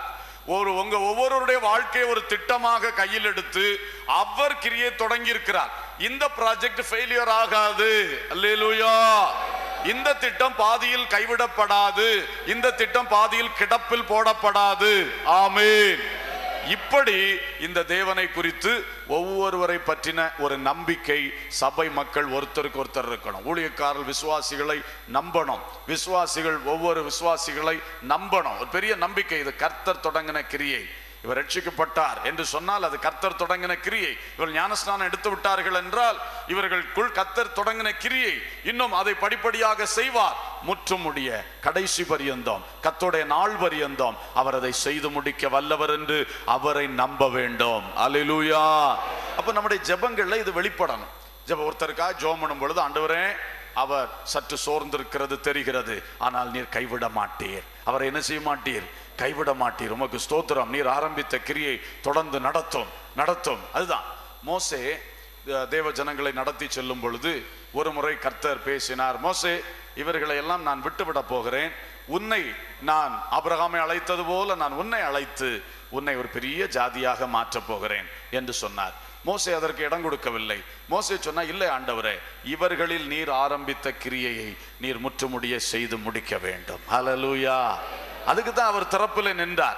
நின்றுவிட்டு சொன்ன இல்லை இவர்களை எகிப்திலிருந்து நீர் அழைத்திருக்கிறீர். எகிப்திலே அற்புதங்களை செய்து அழைத்தது எதற்கு? அந்த உமது தாசனாய் ஆபிரகாம் கொடுத்த வாக்குத்தத்தத்தை நிறைவேற்றி இவர்களை காணானிலே குடியேற்ற வேண்டும். அதிலே பாதி வழியில் நீர் கைவிட முடியாது.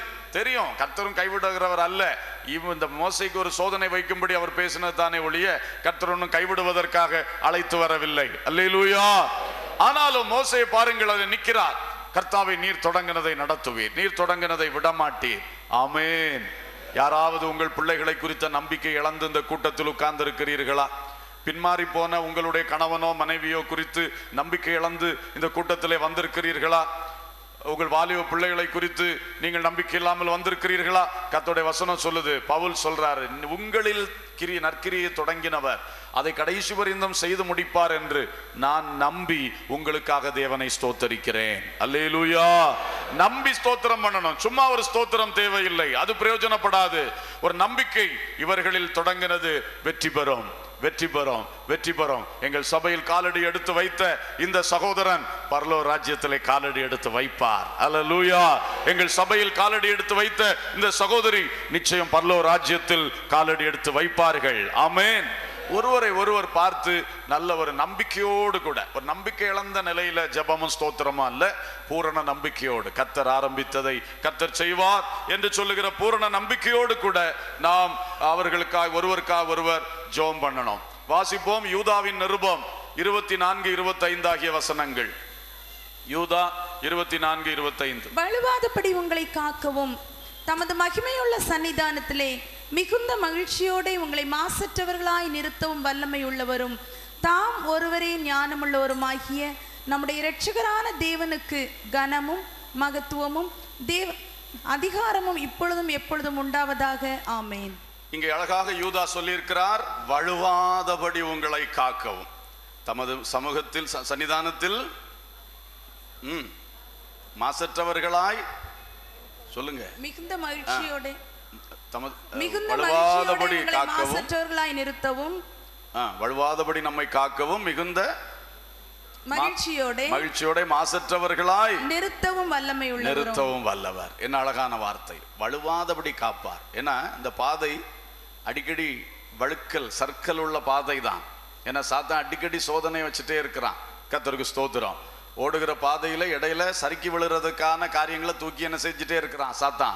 வீசி வீசி போட்டுக்கிட்டே இருக்கிறான் வீசி போட்டுட்டே இருக்கிறான். சறுக்கி விழட்டும் சறுக்கி விழட்டும்னு சொல்லிட்டு. ஆனால் கத்தருக்கு ஸ்தோத்திரம். பாருங்கள் அதன் நடுவிலே கத்த நம்ம என்ன செய்வார்? வலுவாதபடி காப்பார். அல்லேலூயா. நம்முடைய இருதயம் வலுவாதபடி காப்பார். மாசற்றவர்களாய் அங்கே கொண்டு என்ன செய்வார்? நிறுத்துவார். இந்த ஒரு பெரிய விசுவாசம் நமக்குள் இருக்க வேண்டும். ஒன்று குருந்தியர் ஒன்றாம் அதிகாரம் எட்டாம் வசனம் சொல்லுகிறது கர்த்தருடைய நாளிலே நீங்கள் குற்றம் சாட்டப்படாதவர்களாய் இருக்கும்படி முடிவு பரியந்தம் அவர் உங்களை ஸ்திரப்படுத்துவார். அல்லேலூயா. இந்த வசனங்கள் எல்லாம் என்ன சொல்லுகிறது? அவர் செய்வார். யார் செய்கிறது? கர்த்தர் செய்வார். நம்முடைய திறமையினால பரிசுத்த ஜீவியத்தில் நிற்க முடியாது. நம்முடைய திறமையினால பரலோராஜ்யம் போய் சேர முடியாது. கர்த்தர் நம்மிலே அந்த கிரியை ஆரம்பித்திருக்கிறார். அவர் கடைசி வரையந்தம் அதை நிறைவேற்றி தருவார். கரங்களை தட்டி தேவனை மகிமைப்படுத்துவோம். கர்த்தர் நல்லவர் கர்த்தர் வல்லவர் கைவிடாதவர் வலுவாதபடி நம்மை காக்கிறவர் மாசற்றவர்களாய் பிதாவின் சன்னிதானத்திலே கொண்டு நிறுத்துகிறவர் குற்றம் சாட்டப்படாதவர்களாய் நிறுத்த நம்மை ஸ்திரப்படுத்துகிறவர். ஹalleluya. கத்தருக்கு ஸ்தோத்திரம். அப்படிப்பட்ட ஒரு மகிமையான தேவனாக்கும் நமக்குள் கிரியை தொடங்கி இருக்கிறார் பிரைஸ் அலாட் ஸ்தோத்திரம். அவர் ஒரு நாளும் கைவிட மாட்டார். இதை நம்ம ஒருவரை ஒரு குறித்து ஒருவர் இந்த நம்பிக்கை உடையவர்களா இருக்கும் பொழுதுதான் சபை ஐக்கியம் வல்லமையாக நிற்கும். அலையிலூயா மற்றவங்களை மதிக்காத ஒரு நிலை உருவாகாது. ஏன்னா அவங்களும் ஒரு வாலிப பையன் சின்ன பையன் ஞானஸ்தான் எடுத்திருக்கிறான். ஒரு வயதான தாயார் ஞானஸ்தான் எடுத்திருக்காங்க. ரெண்டு பேருக்குள்ளேயும் யார் தான் கிரிய ஆரம்பித்திருக்கிறது? தேவன் தான் இந்த சின்ன பையன் இன்னும் அவன் வாழ வேண்டிய நாட்கள் எவ்வளவோ இருக்கு. அவன் உலகத்தை சந்திக்க வேண்டியது இருக்கு. இனிதான். ஆனா கத்தர் அவனை அவனில் ஆரம்பித்த கிரியை முற்றுமுடிய என்ன செய்வார்? நிறுத்துவார் நிலை நிறுத்துவார் அந்த வயதான ஒரு தாயார் அவர்கள் வந்து அவருடைய வாழ்க்கையை ஓடி பல மெயினான காலங்களை முடித்து விட்டார்கள். இன்னும் கொஞ்ச காலம் அவர்களுக்கு இருக்கிறது. ஆனா இப்பொழுது அவர்களுக்குள் ஒரு கிரியை ஆரம்பித்தார்னு சொன்னா அதையும் தேவன் முற்றுமுடிய நடத்துவார். அல்லேலூயா. எல்லாரையும் பார்க்கும் பொழுது ஒரு ஒருத்தரை உயர்வாக ஒருத்தரை குறைவாக நாம் பார்க்க கூடாது எல்லாருக்குள்ளும் தேவன் கிரிய செய்யறார் ஆனா உள்ளே இருக்கிற ஆத்துமா விலையேற பெற்றது. அல்லையிலூயா வெளியே பார்க்கும்போது படித்தவர்கள் படிக்காதவர்கள் என்று பிரித்து பார்க்கிறோம் பணக்கார ஏழைன்னு பிரித்து பார்க்கிறது. பலசாலி பலச பலமில்லாத ஆள். வயோ வயோதிபர் இளைஞர் என்றெல்லாம் பிரித்து பார்க்கிறோம். ஆனா உள்ள இருக்கிறது என்னது? விலையேற பெற்ற ஒரு ஆத்துமா. அந்த ஒரு ஆத்துமா முழு உலகத்தை பார்க்கிலும் விலை உள்ளது அலலூயா அந்த ஆத்துமாவிலே தேவன் தொடங்கின கிரியை முற்றுமுடிய நடத்தி முடிக்க அவர் வல்லவராக இருக்கிறார். அல்லேலூயா. இனி மூன்றாவதாக ஏழாவது வசனத்தை வாசிக்கிறேன். பிலிப்பியர் ஒன்று ஏழு. என் கட்டுகளிலும் நான் சுவிசேஷத்திற்காக உத்தரவு சொல்லி அதை திடப்படுத்தி வருகிறதிலும் நீங்கள் அனைவரும் எனக்கு அளிக்கப்பட்ட கிருபையில் பங்குள்ளவர்களானதால் உங்களை என் இருதயத்தில் தரித்து கொண்டிருக்கிறபடியினாலே உங்கள் எல்லாரையும் குறித்து நான் இப்படி நினைக்கிறது எனக்கு தகுதியா இருக்கிறது. அல்லேலூயா. அவர் பல பாயிண்ட்ஸ் சொல்லுகிறார். என் கட்டுகள் ஒரு பக்கம் இருக்குது. அதோடு கூட நான் சுவிசேஷத்துக்காக நான் என்ன செய்கிறேன்? சுவிசேஷத்திற்காக திடன் சொல்லி வருகிறேன். சுவிசேஷத்தை என்ன பண்ணிட்டு இருக்கிறேன்? திடப்படுத்தி கொண்டு வருகிறேன்.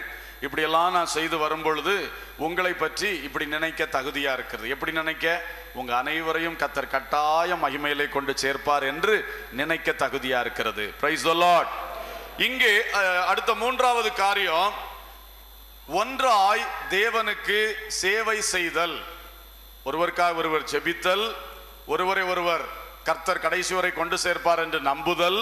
மூன்றாவது என்னது? கர்த்தருக்கு ஒன்றாக சேர்ந்து ஊழியம் செய்கிறது சேவை செய்கிறது. இது ரொம்ப முக்கியம்.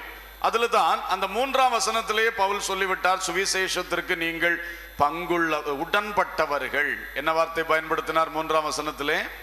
சுவிசேஷத்துக்கு உடன்பட்டவர்கள்.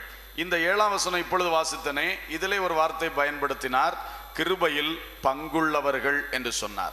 பங்குள்ளவர்கள். கத்தருக்கு ஸ்தோத்திரம். அப்போ நீங்கள் உடன்பட்டவர்கள் நீங்கள் பங்குள்ளவர்கள். நீங்கள் எல்லாம் யாரு? Gospel partners partners of gospel சுவிசேஷத்திற்கு உடன்பட்டவர்கள். இந்த விஷயத்திலே இந்த வசனத்தில் இருக்கிற விளக்கத்தையும் நான் கூடவே சொல்லுகிறேன். சுவிசேஷத்துக்கு ரெண்டு வேலை நாம் செய்ய வேண்டுமா? பவுல் சொல்லுகிறார் ஒன்று அதற்கு நான் உத்தரவு சொல்லுகிறேன். இந்த வார்த்தையை கொஞ்சம் கவனிங்க. சுவிசேஷத்திற்காக நான் என்ன செய்கிறேன்? உத்தரவு சொல்லுகிறேன். அது எப்படின்னா சுவிசேஷத்தை பற்றி ஒரு கேள்வி வந்தால் அந்த கேள்விக்கு நாம் என்ன செய்யணுமா? பதில் சொல்லணும். அதுதான் உத்தரவு சொல்லுகிறது. ஆன்சர் பதில் சொல்லுகிறது. சுவிசேஷத்துக்காக நான் என்ன செய்துட்டு இருக்கிறேன் உத்தரவு சொல்லுகிறேன். அதான் டிஃபென்ஸ் ஆஃப் த காஸ்பல் என்று ஆங்கிலத்தில் சொல்லுவார்கள். சுவிசேஷத்தை பாதுகாப்பது. ஒரு எதிர்கேள்வி வருது. ஓ உங்க இயேசு பாவத்தை மன்னிப்பாரா? என்று ஒரு கேள்வி வந்தால் ஆம் எங்கள் இயேசு பாவத்தை மன்னிப்பார். வசனத்தில் இப்படி சொல்லி இருக்கிறது என் வாழ்க்கையில் இது நடந்திருக்கிறது. ஆகவே நிச்சயமாக இயேசு பாவங்களை மன்னிக்கிறவர் தான். அப்படி ஒரு அடி அடிச்சோம்னா நாம பாதுகாத்தோம். அந்த அந்த காஸ்பல அந்த சுவிசேஷத்தை நம்ம என்ன செய்தோம்? அதற்கு எதிராக வந்த அந்த ஏவுகணையை நம்ம அடிச்சு என்ன செய்தோம்? முறியடித்தோம். அல்லேலூயா பவுல் இப்படித்தான் சொல்லுகிறார். ஜனங்களுடைய சிந்தனைக்குள் என்னென்ன எதிர் எண்ணங்கள் வருகிறது என்பதை ஆவியில் உணர்ந்து அதற்கு பதில் அவர் பிரசங்கத்திலே கொடுத்து கொண்டிருக்கிறார். அல்லேலூயா சிலர் நேரடியாய் பேசுகிறார்கள் அதை கேட்கிறார். அதற்கு பதில் சுவிசேஷம் தான் உன்னதமானது என்பதை சொல்லிக் கொடுக்கிறார். ஒரு ஊரில் போனால் அந்த ஊரை பார்க்கிறார். அந்த மக்களுடைய மத நம்பிக்கை என்ன? அவள் ஏன் இப்படி ஒரு கோயிலை கட்டி இருக்கிறாங்க ஏன் இப்படி ஒரு பலிபிடத்தை வச்சிருக்காங்க? எல்லாம் பார்த்துட்டு அவங்களுடைய நம்பிக்கையை புரிந்து கொள்ளுகிறார் அது சுவிசேஷத்துக்கு எதிரடையானதாக இருக்கிறது. உடனே வாய்ப்பு கிடைக்கும் பொழுது சுவிசேஷத்திலே அதை சொல்லி கொடுத்து அந்த சுவிசேஷத்தை அங்கே பாதுகாத்து நிறுத்துகிறார். அல்லூயா சுவிசேஷத்துக்கு எதிரடையாக எக்காலத்திலும் சாத்தான் மாயைகளை பரப்பி விட்டு கொண்டே இருக்கிறான். ஒவ்வொரு ஊரிலும் போனால் ஒவ்வொரு விதமான கொள்கைகளை அவன் கிளப்பி விட்டு கொண்டே இருப்பான். அவனுடைய நோக்கம் என்ன? ஒவ்வொரு தேசத்திலும் ஒவ்வொரு ஊர்களிலும் கர்த்தருடைய அந்த உன்னதமான சுவிசேஷத்துக்கு எதிரடையான கொள்கைகளை பரப்ப வேண்டும். எதிரடையான செய்திகளை அப்படியே பரத்தி விட வேண்டும். அதற்காக பல மனிதர்களை அபிஷேகம் பண்ணி எழுப்புவான். அவர்கள் பெரியவர்களாக எழும்பி வந்தவுடனே அநேகர் அவரை பின்பற்றுவார்கள். அவர் சொல்லுவதுதான் தெய்வ வாக்கென்று நினைப்பார்கள். இப்படி சாத்தான் சுவிசேஷத்துக்கு எதிராக என்ன செய்து கொண்டிருக்கிறார்? கொண்டிருக்கிறான் பெரிய பெரிய கும்பல் கும்பலாக மக்களை எழுப்பி கொண்டிருக்கிறான். மதங்களை புதிது புதிதாய் உருவாக்கி விடுவான். எல்லாம் உருவாக்கி விடுவான். பல காரியங்கள் அவன் செய்கிறது எதுக்கு அவனுடைய ஒரே டார்கெட் கர்த்தருடைய சுவிசேஷத்துக்கு எதிராக மக்களுடைய உள்ளங்களை என்ன செய்யணும்? திருப்பணும். அப்ப நம்முடைய வேலை என்ன? இப்படி நானா பக்கத்தில் இருந்து சுவிசேஷத்தை எதிர்த்து பிசாசு ஏவகணங்களை அனுப்பி கொண்டிருக்கும் பொழுது அதன் நடுவிலே இந்த சுவிசேஷத்துக்காக உத்தரவு சொல்லக்கூடிய ஒரு ஊழியம் கர்த்தர் நம்முடைய கைகளிலே தந்திருக்கின்றார். அல்லேலூயா! அப்ப இந்த பைபிள் சத்தியத்தை நாம் நன்றாக படிக்க வேண்டும். தேவ சமூகத்தில் முழங்காலில் நின்று ஜெபித்து அதை சொல்லுவதற்குள்ள பலனை பெற்றுக்கொள்ள வேண்டும். அதை வாழ்ந்து காட்டுவதற்குள்ள பலனை பெற்றுக்கொள்ள வேண்டும். அப்படி சுவிசேஷத்துக்காக முதலாவது நாம் என்ன செய்ய வேண்டும்? உத்தரவு சொல்லணும். அடுத்த அந்த வசனத்தில் இன்னொரு வார்த்தை சொல்லுகிறார் கவனியுங்கள் நான் உத்தரவு சொல்லி பாருங்க பைபிள உத்தரவு சொல்லி திடப்படுத்தி வருகிறேன். அல்லேலூயா அல்லேலூயா. அப்ப பாருங்கள் டிஃபென்ஸ் டிஃபெண்ட் பண்ணணும் காஸ்பல அடுத்தது என்ன செய்யணும் அதை? அதை கன்ஃபார்ம் பண்ணணும் அதை ஸ்ட்ராங் பண்ணணும் அதை உறுதிப்படுத்தணும் உறுதிப்படுத்தணும்.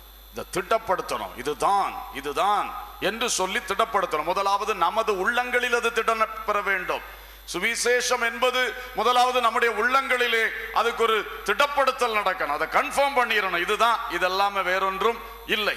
இனி நாம் போகிற இடமெல்லாம் கர்த்தருடைய சுவிசேஷத்தை நிலைநாட்ட வேண்டும் திட்டப்படுத்த வேண்டும். எத்தனை பேருக்குள் ஆவியின் வைராக்கியம் இருக்கிறது? ஆமென்.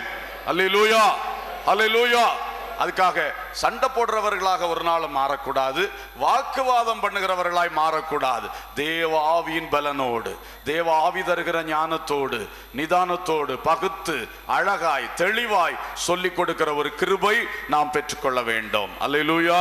இதுதான் சுவிசேஷத்துக்காக நாம் செய்ய வேண்டிய ஊழியம். கத்தருக்கு ஸ்தோத்திரம். அவர் சொல்லுகிறார் இதில் நீங்கள் பங்குள்ளவர்கள் உடன்பட்டவர்கள். நான் அந்த சுவிசேஷத்தை பாதுகாக்கிறதுக்கு உத்தரவு சொல்லுகிற ஊழியத்திலும் சரி இந்த சுவிசேஷத்தை திட்டப்படுத்துகிறதுக்கு நான் செய்கிற ஊழியத்திலும் சரி உங்க எல்லாருக்கும் பங்கு உண்டு. அலலூயா என்ன நீங்க எல்லாரும் ஜெபிக்க வேண்டும். நீங்க எல்லாரும் சேர்ந்து நிற்க வேண்டும். நீங்களும் உங்கள் பங்குக்கு செய்ய வேண்டியதை செய்து கொண்டே இருக்க வேண்டும். ஆமென் இந்த சபையை தேவன் இங்கே வைத்திருக்கிறார் என்றால் இந்த சபையை குறித்து தேவனுக்கு ஒரு நோக்கம் உண்டு. இந்த சபையுடைய ஏரியா ஆஃப் ஆபரேஷன் எந்தெந்த ஏரியாவில் இந்த சபையினுடைய ஊழியம் அதோடைய வேலையை செய்ய வேண்டும் என்று தேவனுக்கு ஒரு பெரிய நோக்கம் இருக்கிறது. அப்போ அந்த சுற்றிலும் உள்ள ஏரியா முழுவதும் இந்த சுவிசேஷத்தை நிலைநாட்ட வேண்டியது இந்த சபையினுடைய பொறுப்பு. அது ஒரு ஊழியக்காரனை கொண்டு முடியாது. அந்த ஊழியக்காரர் அதுக்காக பாடுபடுவார் அதற்காக நிற்பார். ஆனால் அவரோடு கூட கைகோர்த்து ஒரு கூட்டம் சபை.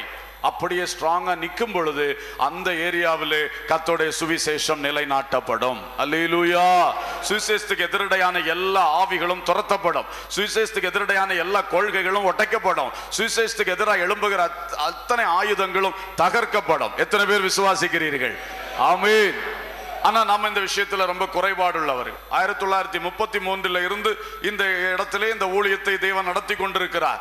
ஆனால் நாம் இன்று இருக்கிற நிலை அந்த காலகட்டத்துக்கு நாம யோசித்து பார்த்தா கால அளவுக்கு யோசித்து பார்த்தோம்னா ரொம்ப குறைந்த அனுபவத்தில் தான் நாம் இன்றைக்கு இருக்கிறோம். எத்தனை பேர் ஒத்துக்கொள்றீங்க?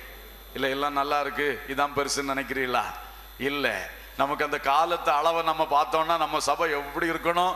இன்னைக்கு எவ்வளவு ஆயிரங்கள் இந்த இடத்துல ஆராதிக்க வேண்டும்? எவ்வளவு ஊழியங்கள் நடக்க வேண்டும்? கத்தருக்கு ஸ்தோத்திரம். செய்கிறது கொஞ்சம். இதுல திருப்தி படக்கூடாது இதுல எதுவும் ஒரு காரியத்தை பிடிச்சிட்டு பெருமைப்படக்கூடாது. அதுல புத்தீனமான செயல்கள். நாம் செய்ய வேண்டியது ஏராளம். அல்லூயா மாத்திரமல்ல இந்த சபையை பொறுத்த மட்டும் கர்த்தர் இந்த ஏரியாவுக்காக மட்டும் இந்த சபையை தேவன் ஸ்தாபிக்கவில்லை. கர்த்தர் இந்த சபையை குறித்து ஒரு மாபெரும் நோக்கம் வைத்தபடியினால்தான். காலா காலங்களில் இது பறந்து விரிந்து தமிழ்நாட்டிலும் இந்தியாவிலும் இன்றைக்கு உலக நாடுகளிலும் போய்கொண்டே இருக்கிறது. ஹalleluya அப்ப இந்த சபையை குறித்து தேவன் வைத்திருக்கிற நோக்கம் மகா பெரியது. அந்த தரிசனத்தையும் இந்த சபையில் இருக்கிற தேவ பிள்ளைகள் அனைவரும் நாம் ஏற்றெடுக்க வேண்டும். பிரைஸ் லார்ட் ஏற்றெடுக்கணும் ஏற்றெடுக்கணும். அப்படி தேவன் நம்மை கொண்டு சேர்த்த சபையை குறித்து தேவன் வைத்திருக்கிற அவருடைய பெரிய நோக்கம் என்ன? அதிலே நான் எங்களுடைய பங்கு என்ன? எங்களுடைய ஊழியக்காரருடைய பங்கு என்ன? அதிலே நாங்கள் கைகோர்த்து நிற்க வேண்டும். எங்களுடைய பங்குகளையும் நாங்கள் செய்ய வேண்டும். அப்படி நிற்கும் பொழுது உங்களுக்கும் ஆசீர்வாதம் உங்கள் மூலம் அநேக நம்முடைய கண்ணுக்கு தெரியாத ஏராளம் ஏராளம் ஜனக்கூட்டங்களுக்கு ஆசீர்வாதமாக மாறும். ஹalleluya ஸ்தோதரம் இந்த ஜெபங்களில் எல்லாம் நாம் எவ்வளவு ஜெப குறிப்புகள் வைத்து ஜெபித்தோம். நம்முடைய சபைக்கு மட்டுமா நாம் ஜெப குறிப்பு வைத்து ஜெபித்தோம்? எங்கெங்கே நடக்கிற ஊழியங்கள் எல்லா ஊழியங்களுக்காக நாம் ஜெபித்தோம். பிற ஆவிக்குரிய ஸ்தாபன ஊழியங்களுக்காக நாம் ஜெபித்தோம். உலக நாடுகளுக்காக நாம் ஜெபித்தோம். எல்லா நம்முடைய ஊழியத்தின் பல்வேறு பகுதிகளுக்காக ஸ்தாபனத்தின் காரியங்களுக்காக ஜெபித்தோம். ஏன் ஜெபிக்கிறோம்? நாம் ஒரு சுயநலவாதிகள் அல்ல. நம்முடைய சபை மட்டும் வளர வேண்டும் என்று நினைக்கிறவர்கள் அல்ல. இது ஒரு தாய் சபை. தாயினுடைய உள்ளம் இந்த இங்க இருக்கிற ஊழியர்களுக்கும் இங்க இருக்கிற விசுவாசிகளுக்கும் கட்டாயம் இருக்க வேண்டும். அல்லேலூயா! கத்தருக்கு ஸ்தோத்திரம். எனவே அன்பானவர்களே இப்படி நாம் கர்த்தருடைய வேலையை செய்ய வேண்டியவர்களாக காணப்படுகின்றோம். இன்னும் ஒன்று அதில் ஒரு காரியத்தை கூட நினைப்பூட்ட வேண்டும். இப்படி செயல்படும் பொழுது பிலிப்பியர் ஒன்று இருபத்தி ஒன்பது சொல்லுகிறது. வாசியுங்கள். ஒன்று இருபத்தி ஒன்பது கிறிஸ்துவனிடத்தில் விசுவாசிக்கிறதற்கு மாத்திரமல்ல அவர் நிமித்தமாக பாடுபடுகிறதற்கும் உங்களுக்கு அருளப்பட்டிருக்கிறது. விசுவாசிக்கிறதுக்கு மாத்திரம் அல்ல எதற்கும் உங்களுக்கு அருளப்பட்டிருக்கிறது? ஆமா ஆமா அவர் நிமித்தமாக அப்படித்தானே போட்டிருக்கிறது? அவர் நிமித்தமாக பாடுபடணும். பலர் என்ன சொல்லுகிறோம்? என்னுடைய பாடே எனக்கு பாடு சகிக்க முடியல. இனி அவருடைய பாடையும் சேர்த்து நான் எப்படி சகிப்பேன் என்று நினைக்கிறீர்கள்? நாம் அவருடனே பாடுபட்டால் அவருடனே ஆளுகை செய்வோம். அல்லேலூயா! கர்த்தருக்கு ஸ்தோத்திரம். கர்த்தருக்காக பாடுபடுவதுதான் மேன்மை. நம்முடைய பாடுகளை நாம் பெரிதாக நினைத்து கொண்டிருக்க கூடாது. நம்முடைய பாடுகள் எல்லாம் அப்பாவிடத்தில் ஸ்தோத்திரத்தோடு கூடிய ஜபத்தினாலே தெரியப்படுத்தி விட்டு நாம் பலனோடு கர்த்தருக்காக வாழ வேண்டும். அல்லேலூயா! அவருடைய பாடுகளில் நான் கொஞ்சம் பங்கடைய முடியுமா? இந்த ஊழியங்களுக்காக கொஞ்சம் வந்து என்னை கொஞ்சம் பாடுபடுத்தி உட்கார்ந்து ஜெபம் பண்ண முடியுமா? என் சரீரத்தை கொஞ்சம் கஷ்டப்படுத்தி நான் உட்கார்ந்து ஜெபம் பண்ண முடியுமா? இந்த ஊழியத்தில் கொஞ்சம் எனக்கு முடியாட்டாலும் நான் போய் கொஞ்சம் ஊழியத்தை செய்ய முடியுமா? இப்படிப்பட்ட ஒரு காரியம் கிறிஸ்துவின் பாடுகள் கிறிஸ்துடைய ஊழியத்தில் நிமித்தம் வரக்கூடிய பாடுகள் இதிலே பங்கடைய வேண்டும். நமக்கு விசுவாசிக்கிறதுக்கு மட்டுமல்ல பாடுபடுவதற்கும் அருளப்பட்டிருக்கின்றது. அல்லூயா ஸ்தோத்திரம். எனவே இந்த அனுபவங்கள் மிகவும் முக்கியம். நீங்கள் கர்த்தருடைய சபையின் ஊழியத்திலே பணிவிடைகள் அல்லது கர்த்தருக்கு பணிவிடைகள் செய்ய வேண்டும் ஊழியங்கள் செய்ய வேண்டும். எது எது செய்ய முடியும் என்று ஆலோசனை பண்ணி ஜபங்களில் பங்கு பெறுங்கள். கர்த்தருக்கு ஸ்தோத்திரம். ஆஹ், ஊழியங்களில் பங்கு பெறுங்கள் கொடுக்கிற விஷயங்களில் பங்கு பெறுங்கள். எல்லா காரியங்களிலும் பங்கு பெறுங்கள். அப்படி ஒரு ஈடுபாடு உங்கள் அனைவருக்கும் இருக்க வேண்டும். அது மிக முக்கியமான ஒரு காரியம். எனவே விசுவாசிகள் அனைவரும் ஒரே கூட்டமாய் தேவ அன்பினாலே நிறைந்த கூட்டமாய் கர்த்தருக்காக ஜீவிக்கின்ற ஒரு நிலை நம்முடைய சபையில் இன்னும் பெருகட்டும் இன்னும் வளரட்டும். அலையிலூயா விசுவாசிகள் என்ற ஒரு கூட்டம் கடமலை குந்தில் உண்டு. அன்பு ஒன்றே அவர்கள் நடுவில் உண்டு. அந்த நாட்கள் நமக்கு இன்று வேண்டும் இன்று வேண்டும். அல்லேலூயா. ஒரு மனம் ஒற்றுமை அங்கே உண்டு கடமலை குன்றிலே உண்டு. அல்லேலூயா. பிரைஸ் அல்லாட் என்று சொல்லத்தக்கதாக இந்த விசுவாசிகளின் கூட்டமாகிய சபையானது திகழ வேண்டும். அதுதான் கர்த்தர் விரும்புகிறார். நான்காவது காரியத்துக்குள் வருவோம். இதே ஏழாம் வசனத்திலே சொல்லப்பட்டிருக்கிறது நீங்கள் அனைவரும் எனக்கு அளிக்கப்பட்ட கிருபையில் பங்குள்ளவர்கள் என்று சொல்லுகிறார். பார்ட்னர்ஸ் இன் கிரேஸ் நீங்கள் காஸ்பல் பார்ட்னர்ஸ் மட்டுமல்ல கிரேஸ் பார்ட்னர்ஸ் ஆகவும் இருக்கிறீர்கள் என்று வேதம் நமக்கு சொல்லுகின்றது. ஆகவே தேவனுடைய கிருபைக்கும் நாம் பங்காளிகளாக காணப்படுகின்றோம். கத்தருக்கு ஸ்தோத்திரம். இப்போ இதுலையும் நீங்கள் முக்கியமாக கவனிக்க வேண்டிய ஒரு விஷயம் வருகிறது. தயவு செய்து கவனியுங்கள். அப்போ எனக்கு அளிக்கப்பட்ட தேவ கிருபையில் மற்றொரு பங்கு என் சகோதரன் இன்னாருக்கு அருளப்பட்டிருக்கிறது. இந்த வார்த்தை புரியுதா? எனக்கு இப்போ நான் ஊழியக்காரனாக இருக்கிறேன்னு சொன்னால் எனக்கு ஒரு கிருபை அருளப்பட்டு இந்த சபையை நடத்துவதற்கு எனக்கு தந்திருக்கிற பொறுப்புகளை செய்வதற்குள்ள கிருபை தேவன் எனக்கு என்ன செய்திருக்கிறார்? தந்திருக்கிறார். அதே வேளையில் I am all in all எனக்கு எல்லாம் இருக்கிறது அப்படி நான் நினைக்கக்கூடாது எனக்கு அதுக்கு ஏற்றவைகளை தந்திருக்கிறார். ஆனால் எனக்கு அளிக்கப்பட்ட கிருபையில் தேவ கிருபையில் இன்னொரு பங்கு இருக்கிறது. அது என்னிடம் இல்லை. அது அந்த சகோதரிடத்தில் இருக்கு. இன்னொரு சகோதரன்ட்ட இருக்கு. அந்த சகோதரிட்ட இருக்கு. புரிஞ்சாச்சா உங்களுக்கு? பகிர்ந்து கொடுத்திருக்கிறார். அல்லேலூயா. பகிர்ந்து கொடுத்திருக்கிறார். இந்த ஒரு அறிவு தெளிவு அனைவருக்கும் இருக்க வேண்டும். நான் தான் என்று நினைக்க ஆரம்பிச்சால் கிருபை நஷ்டப்படும்.